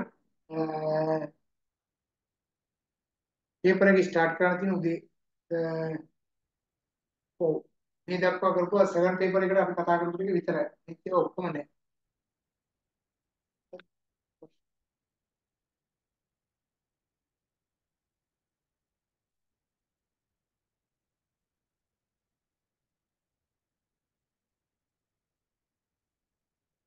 පේපර් එක උදේ ස්ටාර්ට් කරන්න 9ට 9 ඉඳන් 12 වෙනකන් තියෙනවා නේද? දෙවෙනි පේපර් එකට කොච්චර එහෙම දෙවෙනි පේපර් එකයි පළවෙනි පේපර් එකයි කියලා වෙලාව වින් කරලා නැහැ. පැය තුනක් දීලා තියෙනවාට ඔව් දෙක තුන හතර පහ හය වගේ ප්‍රශ්න වලට පිටු භාගයක් වගේ ලිව්වාම ඇතිද සර් කියලා ඇති. නමුත් අර දෙවෙනි වගේ ප්‍රශ්නෙට මානව සම්පත් කළමනාකරණය පිළිබඳ අහපු ප්‍රශ්න තියෙන්නේ. ඒක ටිකක් ගැඹුරින් ලියන්න ඒක වැඩිපුර ලියන්න. ඔයාට වෙලාව තියෙනවනම් ඔයා පිටු භාගයට වඩා ලියන්න පුළුවන් ඒවා ලියන්න ප්‍රශ්නයක් නැහැ. ඒ වෙලාව ඇති ඇත්තට. ඔයා දන්න දේවල් තියෙනවනම් වෙලාව කළමනාකරණය කරගන්න ඕනේ. මං කියන්නේ ලියන්න පුළුවන් උපරිමයෙන් ලියන්න. හැබැයි වෙලාව කළමනාකරණය කරගන්න. නේ? නැත්තම් මට මතකයි එක ළමයෙක්ගේ මට පේපර් එකක් හම්බුණා. පස්සේ මට ඒක දුන්නා ඒක පේපර් එක පිටු 100 දෙකක් හරි 10ක් හරි. පෙරදින විශ්වවිද්‍යාලේ ළමයි. පෙරදින විශ්වවිද්‍යාලේ ළමයි පිටු 102කට වඩා ලියලා තියෙනවා. ඔය මේ මේ ළඟ තිබ්බ පේපර් යන්නේ මම කලින් එකක් කියන්නේ. ප්‍රින්ට් එකක් ගන්න වෙනවා. ඔයාලට මම මොඩල් පේපර් එකක් දෙනවා. ප්‍රශ්න දෙකම MCQ එකයි දෙකම එකවර දෙන්නේ. නෑ. මේකේදී ඔයාලගේ පේපර් එක මම කතා කරලා කියලා තියෙනවා. ෆයිනල් පේපර් එක ඔයාලට එකවර දෙන්න කියලා. තේරුණාද? උදේ 9ට ඔයාගේ ගෲප් එකට පේපර් එක හම්බ වෙන මේ පේපර් එකේ කෙටි ප්‍රශ්න 60ක් තියෙනවා. ඒ 60ක් තියෙනවා ලියන එකක් තියෙනවා. හරි. අර පළවෙනි එක්සෑම් එකේ වගේ MCQ ටික ඒ විදිහට ඩිස්ප්ලේ කරන්නේ නැහැ. ඒක ඔයාලට ලොකු වාසියක්. ඒකේ අවස්ථාවක් අරන් දීලා තියෙන ඒක උපරිම ප්‍රයෝජනෙ ගන්න. කලින් විදියට නෙවෙයි. ඒ නිසා වටක් ගාලා ඒකට 40ට හැබැයි 60ට උත්තර ලියනකොට හරිම උත්තරේ බලලා කපන්න දෙවෙනි පාර කැපුවොත් එහෙම ලකුණු හම්බෙන්නේ නැහැ. හරි? ඒක ඔළුවේ තියාගන්න. එතකොට මේ වෙනකොට පේපර් එක ඔක්කොම ලෑස්ති වෙලා ඇති කියලා මම හිතනවා නේද? පේපර් එක ලෑස්ති වෙලා ඇති. මේ පේපර් වලට බය වෙන්න එපා උත්තර ලියන්න බය වෙන්න එපා අකුරු ලස්සන ලියන්න. ඒතර මේ වෙනකොට ඇඩ්මිෂන් ලබාගෙන නැති අය හැකියික්මට ඇඩ්මිෂන් එක ගන්න. ඒතර ඔයාලගේ ප්‍රශ්න ටික 071යි 178යි 62යි 72ට දාන්න. මොකද මතක තියාගන්න ඔයාලගේ දෙසැම්බර් ඔයාලගේ කොන්වොකේෂන් එක තියෙනවා දෙවෙනි සතිය හෝ තුන්වෙනි සතිය අනිවාර්යයෙන්ම කොන්වොකේෂන් එක තියෙනවා. ෆයිනල් එක්සෑම් එක ලියලා ප්‍රොජෙක්ට් එක සබ්මිට් කරන මම ඔයාලට දෙනවා මාස දෙකක වගේ කාලයක් දෙනවා. දෙකක් පොරිම දෙකමාරක වගේ කාලයක් දෙනවා ප්‍රොජෙක්ට් එක සබ්මිට් කරන්න. ඒ අතරතුර කොන්වොකේෂන් එකට කෝල් කරනවා අනිවාර්යයෙන්ම සැප්තැම්බර් මාසයේදී කොන්වොකේෂන් එකට ඔයාලට කෝල් කරනවා. ගෲප් එකට මැසේජ් එකක් දානවා. ඔක්කොම එන්න මොකද රිසර්ච් අවුට් කරන්න ඉස්සෙල්ලා කොන්වොකේෂන් එකට මේ පාර පේමන්ට් කරලා රෙජිස්ටර් වෙන්න වෙයි. හේතුව තමයි අපිට ලොකු කාලයක් නැති නිසා රිසර්ච් අවුට් කරලා කාලයක් අපිට ගන්න හම්බෙන්නේ නැහැ. ඒ නිසා කලින්ම කොන්වොකේෂන් එකට ලෑස්ති වෙන කොන්වොකේෂන් එකේ ඩේට් එක අපි ෆික්ස් කරලා කියනවා. අවල් දවසේ තියෙන්නේ කියලා. ඒ හින්දා සමහර අය බය වෙන්න එපා සර් මම පේන්නොත් එන්න බැරි වෙනව නේද? කියලා එහෙම පේල්ලෙච්ච කවුරුත් ඉතිහාසයේ ඉඳලා නැහැ. හරි. සර් IT ඩිප්ලෝමා එකේ කොන්වොකේෂන් මේකත් එක්කමද තියෙන්නේ. මේ පාර අපිට ටයිම් එක ඉවරලා තිබුණොත් එහෙනම් මේ පාර පොඩි ප්‍රශ්නයක් තියෙනවා. බාහිර ඔයාලා දන්නවා 1800ක වගේ ප්‍රමාණයක් තියෙනවා 2000 ඔක්කොම 2000ක් විතර ඉන්නවා අපේ මේ පාර බැච් එකේ කොන්වොකේෂන් යන්න මේ දෙසැම්බර් වලට. අණ්ඩායම් දෙකක් යන නිසා ඉතින් ප්‍රශ්නේ තියෙන්නේ හෝල් එකට දාන්න පුළුවන් වෙන්නේ 600යි. ඒතර EMICH ලොකුම ප්‍රධානම හෝල් එකට දාන්න පුළුවන් වෙන්නේ 600යි ඊට වඩා දාන්න බෑ. මොකද පේරන්ස්ලා දාන්න ඉඩ තියාගන්න ඕන නිසා නැත්නම් අපේ 1600ක් වගේ දාන්න පුළුවන් 1500ක් වගේ. මම ප්‍රශ්නේ තියෙන අපි පේරන්ස්ලාත් එක්ක දාන්න නිසා එයාලට අවස්ථාව දෙන නිසා එකවර දාන්න පුළුවන් වෙන්නේ 600යි. ඒ නිසා මේ පාර අනිවාර්යයෙන්ම සෙෂන් දෙකක් අපිට කරන්න වෙයි. ඒතකොට මේ සෙෂන් දෙක ඇතුළේ එන්න පුළුවන් වෙන්නේ 1200ක් උපරිමවත් 1250 300 අතර ප්‍රමාණයක්. නමුත් 2000කට වඩා වැඩි ප්‍රමාණයක් ඉන්නවා. ඒ නිසා කොන්වොකේෂන් එකට අනිවාර්යයෙන්ම රෙඩි වෙන්න. ඒක මම එක්සෑම් එකෙන් පස්සේ ඔයාලගේ ප්‍රොජෙක්ට් එක දෙන දවසේ හරියට දිනවක වානුයි ඔක්කොම හරියට කියන්න. ප්‍රොජෙක්ට් එක ගැන පොඩි විස්තරයක් කරන්න ඕනේ නැහැ. ප්‍රොජෙක්ට් එක ගැන බය වෙන්න දෙයක් නැහැ. ප්‍රොජෙක්ට් එක ගැන කතා කරන්න මම එක්සෑම් එකෙන් පස්සේ. සර් BMICH එකේද කොන්වොකේෂන් එකේ තියෙන දැනට ඒක තමයි කියන්නේ නේද? සමහර ළමයි කැමති උන්නේ නෙළුම් කොහොමද යන්න. හරි? right. මේකට ඔයාගේ පේපර් එහෙම ඔක්කොම අප්ලෝඩ් කරන්න මේ නම්බරේ ඉඳ මේ නම්බරේට හැදුව තියාගන්න. ඔයාගේ පේමන්ට්ස් කරන රිසිට් ටික ඔයාලා පරිස්සම් කරලා තියාගන්න. ඒ රිසිට් ටික අනිවාර්යයෙන් මේ නම්බරේට දාලා ඇඩ්මිෂන් එක ගන්න. ඇඩ්මිෂන් එක ගත්ත නැති අය තමන්ගේ නම හරිද කියලා බලා ගන්න ඕනේ. එහෙනම් හරියටම මේක බලා ගන්න. ID නම්බර එක හරියටම බලා ගන්න. මොකද මේක තමයි ඔයාගේ පේපර් එක මේක තමයි යන්නේ සර්ටිෆිකේට් එකට යන්නේ. ඊට පස්සේ ආයෙ වැරදුනොත් එහෙනම් මාස 3ක් විතර යනවා ආපහු මේක නිවැරදි කරගන්න ඒ හින්දා වරද්ද ගන්න එපා. හරි? සම්පූර්ණ පාඨමාලා ගාස් රුපියල් 18000 ගෙවලා ඉවර වෙච්ච අයට ඔයාලගේ ඇඩ්මිෂන් එක ගන්න පුළුවන්. ස්වාමීන් වහන්සේලාට මම හිතන්නේ රුපියල් 10000යි අනිත් අය රුපියල් 18000 ගෙවන්න තියෙන ඒක ගෙවලා ඉවරලා ඇඩ්මිෂන් එක ගන්න. එතකොට ඊගා කාරණේ තමයි ඔය ඇඩ්මිෂන් එකේ print එකක් කරලා ළඟ තියාගන්න. ඔය පිටිපස්සේ සයින් කරගන්න තියෙනවා ඒක සයින් කරගන්න. ඒකේ කාර්යය තියෙනවා. දැන් මේ විශ්වවිද්‍යාල වල නෙමෙයි ගෙවල් වල ඉන්නේ. එහෙනම් සිග්නල් ඇති ප්‍රශ්නයක් තිබුණොත් සිග්නල් තියෙන තැනට යන්න. හරි? වෙන ප්‍රශ්න දාගන්න එපා. සිග්නල් තියෙන තැනට යන්න. ගම් වතුර ප්‍රශ්නයක් ඉවරයි. එහෙනම් ගම් වතුර පිළිලොත් එකක් නෑ. මේකප් ටෙස්ට් එක ගැන අහන්න යන්න එපා. එදා දවසේ මේ කතා කරන මේ මේ මේ කතා කරනවා මම දන්නවා. අනිවාර්යෙන් පේපර් එක ඇතුළේ අන්තර්ගත කරුණු කාරණා. එහෙනම් එදායින් පස්සේ ආය අනිත් පේපර් එකක් වලට හම්බ වෙන්නේ. ඒ නිසා ආපහු මේකප් එකට යන්න උත්සාහ කරන්න එපා. එදා දවසේ ඉවර කරගන්න බලන්න. හරි? බැරි වුණොත් මේකප් එකක් හම්බ වෙනවා. මම කියන්නේ එදා දවසේ ඉවර කරගන්න උත්සාහ කරන්න. එතකොට එක්සෑම් එක දීලා සති දෙකක් යන ඉස්සෙල්ලා ඔයාලගේ ප්‍රොජෙක්ට් එක සම්බන්ධයෙන් ඊගාවතිය මම කතා කරනවා. හරි? ප්‍රොජෙක්ට් එක සම්බන්ධයෙන් කතා කරනවා. ඊගොල්ලෝ මෙන්න මේ ප්‍රශ්න වල තියෙනවා. ඔයාලගේ නවන සතිය වැටෙන්නේ මං හිතාගෙන හිටියේ 29 සෙනසුරාදා ආපහු දිගටම කරන්නම් කියලා. දැන් මම ඔයාලගෙන් ඉල්ලීමක් කරනවා. මේ සෙනසුරාදා හෙට ලබන සතිය සෙනසුරාදා මට ඇත්තටම බැරි වෙනවා. හේතුව තමයි අර ශ්‍රී ලංකාවේ පූර්ව ළමාවිය සංවර්ධනය සම්බන්ධයෙන් ලංකාවේ අධ්‍යයන අධ්‍යාපනයේ යම් අඩුපාඩුවක් තියෙනවා ගැටලු ගොඩාක් තියෙනවා. ඒක සම්බන්ධයෙන් අමාත්‍යාංශය වශයෙන් කරන කරුණු කාරණා ගණනාවක් එක්ක මට ප්‍රධාන දේශනයකට සහභාගී වෙන්න වෙලා තියෙනවා ලබන සතියේ ඒ නිසා මට ඒකට නොයා බෑ. අනිවාර්යයෙන්ම සහභාගී වෙන්න වෙනවා. ඒක රාජ්‍ය මට්ටමින් කරන ලොකු වැඩක්. ඒ සඳහා සහභාගී වීමට තියෙන නිසා අපිට 29 වෙනිදා ඔයාලගේ පන්තියේ ඔන්ලයින් මේ වෙලාවට කරන්න බැරි වෙනවා. ඒකට ඉරිදා දවසේ අපිට ගන්න පුළුවන් හවස ගන්න පුළුවන්. මම ඇහුවොත් එහෙම ඉරිදා හවස හරි වෙනසුරාදා හවසත් පුළුවන්. සුරාදාත් පුළුවන්. ඒකට ලබන සතිය මම කතා කරන්නේ ෆස්ට් පේපර් එක ගැන. ඒ නිසා මම දාන්නම් එහෙනම් මෙහෙම.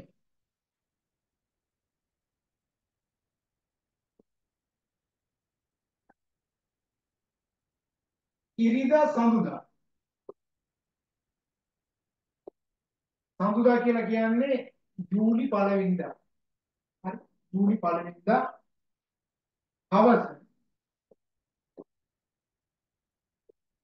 ඔයාලා කියන ඕන ටයිම් එකකට මට පුළුවන්. මම දාන්න 6:30 සමහර අය වැඩ ඇරලා ආවේ නැත්තම් 6:30 ඉඳන් 8:30 වෙනවා. ගැටලුවක් නැහැ නේද?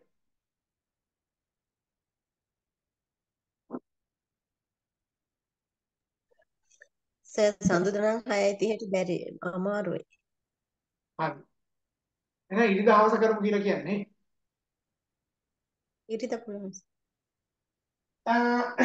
නෑ එහෙනම් ඉරිදා දාගමු මට ඉරිදා මට පොඩි අමාරුවක් තියෙනවා කමන්නේ මම ඒක දාගන්නම්කෝ මොකද උදේ වරුවේ සමහර සමහර කාරණාත් එක්ක ගැටලුවක් නෑ ඉරිදා එහෙම වුණොත් මම දාන්නම් ඌට කරේ එහෙම වුණොත් කලබල වෙන්න එපා. හරි? මැසේජ් එක මේ සතිය ඇතුළත දෙන්න. හරි? එතකොට මේ සතිය මම ඔයාලට මොඩල් පේපර් දෙකක් දානවා.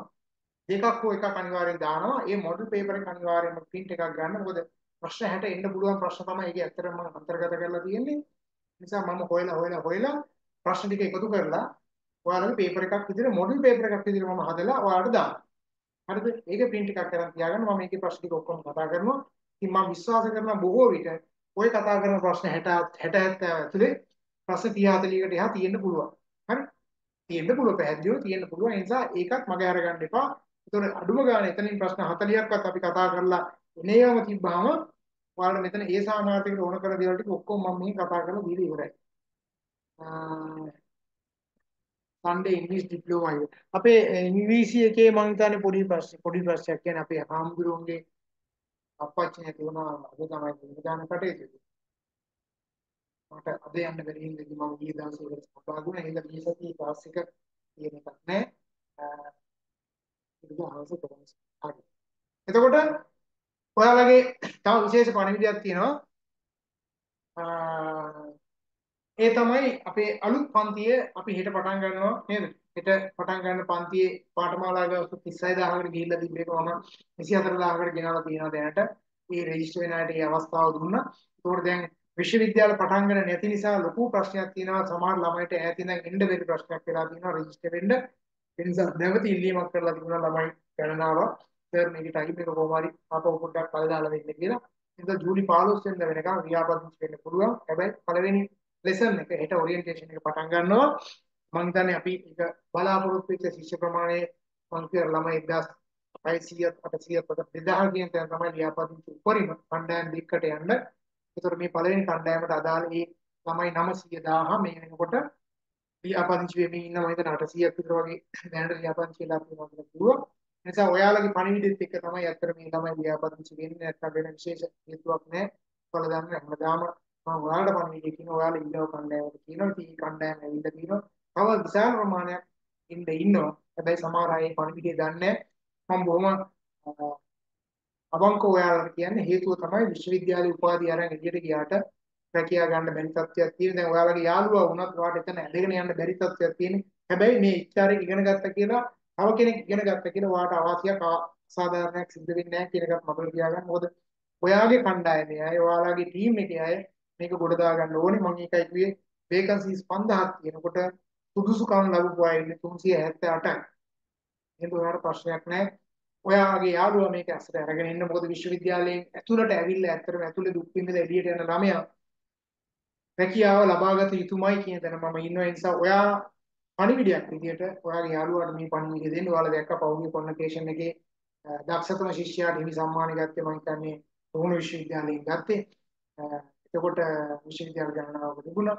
මම දැක්කා අපේ හාමුදුරුවෝ විදියට පෙරදෙන විශ්වවිද්‍යාලයේ කැලණිය කොළඹ ජපුර මේ ආදී හාමුදුරුවෝ මේ පාර කොන්වොකේෂන් එකේදී ඔවුන් අදහස් දක්වලා දුන්නා. ඒ අදහස් එක්ක අපේ වෙනම කණ්ඩායමක් ඒ අදහස් ඔයාලට ෂෙයා කරලා තිබුණා. ওই පණිවිඩයේ අනිත්‍යයට දෙන්න. මොකද හේතුව තමයි මේ ඔයාලා ඉගෙන ගන්න මම උගන්වන මේ HRM එක ASCII ඔයාලට විශ්වවිද්‍යාල ප්‍රතිපාදන කොමිෂන් සභාවේ අනුමත උපාධියක් ලබා ගන්න පුළුවන් තැනට මම මේ පාඨමාලාව අරගෙන ඉන්න තියෙනවා. මේකේ ක්‍රෙඩිට්ස් ප්‍රමාණය ට්‍රාන්ස්ෆර් කර ගැනීමේ හැකියාව තියෙනවා. ඒ නිසා ඒ විෂය නිර්දේශයේ ඇතුළත් වෙලා තියෙන කරුණු කාරණාත් එක්ක ඔයාලට මේ අවස්ථාව හම්බ වෙනවා. ඒ වගේම ඔයාලට යම් දවසක පබ්ලික් එකක් අවුරුදු එකමාරකට පස්සේ මේක උපාධියක් දක්වා රැගෙන යන්නේ හැකියාව ඔයාලට හම්බ වෙලා තියෙනවා. ඔයාලට උපාධිධාරී කෙනෙක් නෙවෙයි උපාධි උපාධි දෙකක් එක්කවට ඉගෙන යන්න පුළුවන් යම් දවසක ඔයාගේ අවශ්‍යතාවය මත මම කියන්නේ මේකේ ඩිප්ලෝමා කරන ඔක්කොටම උපාධිය කරන්න කියලා. නමුත් කාට හරි ඕනේ නම් ඒක කරගෙන ඉන්න හැකියාව තියෙනවා. ඒ විතරක් නෙවෙයි ඒක කරගන්න ඕන කරන බැංකු ණය පවසකම් පවා රජයෙන් ලබා දෙන්න ලෑස්තිලා තියෙනවා. හරි. ඒක ලබා ගැනීම හැකියාව තියෙනවා. සාමාන්‍යයෙන් 4,80,000ක් වගේ මුදලක් වැය වෙන්නේ උපාධියට යනකොට ඒකත් බැංකු ණයක් විදිහට රජයෙන් ලබා දෙන්න ලෑස්ති uh, මේ උපාධිය සඳහා ඒ නිසා ඔයාලා එතෙන්ට ඇවිල්ලා තියෙනවා ඉතින් අනිත් යාළුවන්ට මේ මැසේජ් එක දෙන්න. ඒක මේ වැඩි පටන් ගන්නවා. ඔයාලගේ එක පණිවිඩයක් අපේ පණිවිඩය ෂෙයා කරපු ගමන් මම දන්නවා දහස් ගානකට ඕක යනවා. ඒකට ඊයයි ඔක්කොම බලන්න. අපේ කැම්පස් එකේ කවුද? රුණ නේද? ඔව් රුණේ ළමයි ගොඩාක් ඉන්නවා. ඒ වගේම අනිත් එකෙත් ඉන්නවා නේද? නමුත් හයි ඩිප්ලෝමා එකේ මම දැක්කා දක්ෂතම ශිෂ්‍යයා සහ හොඳ ව්‍යාපෘති පෙරදින කැම්පස් එකේ දිනාගත්තේ. ඒ විතරක් නෙවෙයි මම මේ පාර තව අවස්ථාවක් කතා කරලා තියෙන විදිහ තමයි ඊයේ පාර දක්ෂතම ශිෂ්‍යයාට සාහිතිකයක් දුන්නා. ඔයාලා දැක්කා ඒ වීඩියෝ දකින්න දක්ෂතම ශිෂ්‍යයාට සාහිතිකයක් පිළිලක් තෑගි දුන්නා. එතකොට දෙවෙනියට සහ තුන්වෙනියට මම තෑගි මගේ ගානේ ලෑස්ති කරලා මම තෑගි තුනක් දුන්නා. හැබැයි මේ පාර මම ඉල්ලීමක් කරලා තියෙනවා මේ පළවෙනියට සාහිතිකයක් දෙනවා වගේම දෙවෙනියට සහ තුන්වෙනියට සාහිතික දෙකක් සහ ඒ අදාළ මෙඩල්ස් දෙකක් දෙන්න කියන මෙයා ගෝල්ඩ් ටවුන්සේ විදියට මෙඩල් තුනක් දෙන්න කියන ඉල්ලීම කරලා තියෙනවා. ඒක සලකා බලලා ඒක හම්බ වෙයි. මම ඒක එතෙන්ට ඔයාලා අරන් එනවා. ඒක ඔයාලට මේ අවස්ථාව. එතකොට මෙතනදී තුන් දෙනෙකුට තියෙනවා දක්ෂතම ශිෂ්‍යයා වීම සඳහා මේ අවස්ථා තුන ඒ වගේම හොඳම ව්‍යාපෘතියට අදාළව තව තුන් දෙනෙකුට අවස්ථාවක් තියෙනවා. එතකොට ඇත්තටම ගත්තොත් මේ පොදුවේ ගත්තොත් හය දෙනෙකුට අතිරේකව සහතික සහ මෙඩල් හම්බ වෙනවා. හරි. ඒ නිසා ඒකත් මතක තියාගන්න. ඒකත් ඔයා ග්‍රහණය කරගන්නවා කියන තැන ඉන්න. මොකද ඒක ඔයා ඉන්ටර්විව් එකට යද්දී ඒක අතිරේක සුසුකමක් විදිහට ඔයා දකින්න. දක්ෂයෙක් කියලා වෙනවම හඳුනා ගන්න. හරි. රයිට්. එහෙනම් ඔන්න ඔය කරුණු කාරණා ටික මතක තියාගන්න. ඇඩ්මිෂන් ගත්ත නැති අය හැකි ඉක්මනින් ඇඩ්මිෂන් ටික අරගෙන ඒක ඉවර කරගන්න. ෆස්ට් පේපර් එකට අදාළව මම කරුණු කාරණා ඇතුළත් කරලා මොඩල් පේපර් එකක් ඔයාලට එවන්නම්. ඔයා ඒක print එකක් අරගෙන තියාගන්න. එහෙනම් පණිවිඩය දෙන්න ඔයාගේ යාළුවාට හෙට උදේ 10 මාට අලුත් පන්තිය පටන් ගන්නවා. ඒකට සම්බන්ධ වෙන්න කියලා. ඒක ඔරියන්ටේෂන් එකක් විදිහට මම හෙට දවසේ ඒක ආරම්භ කරන්නේ.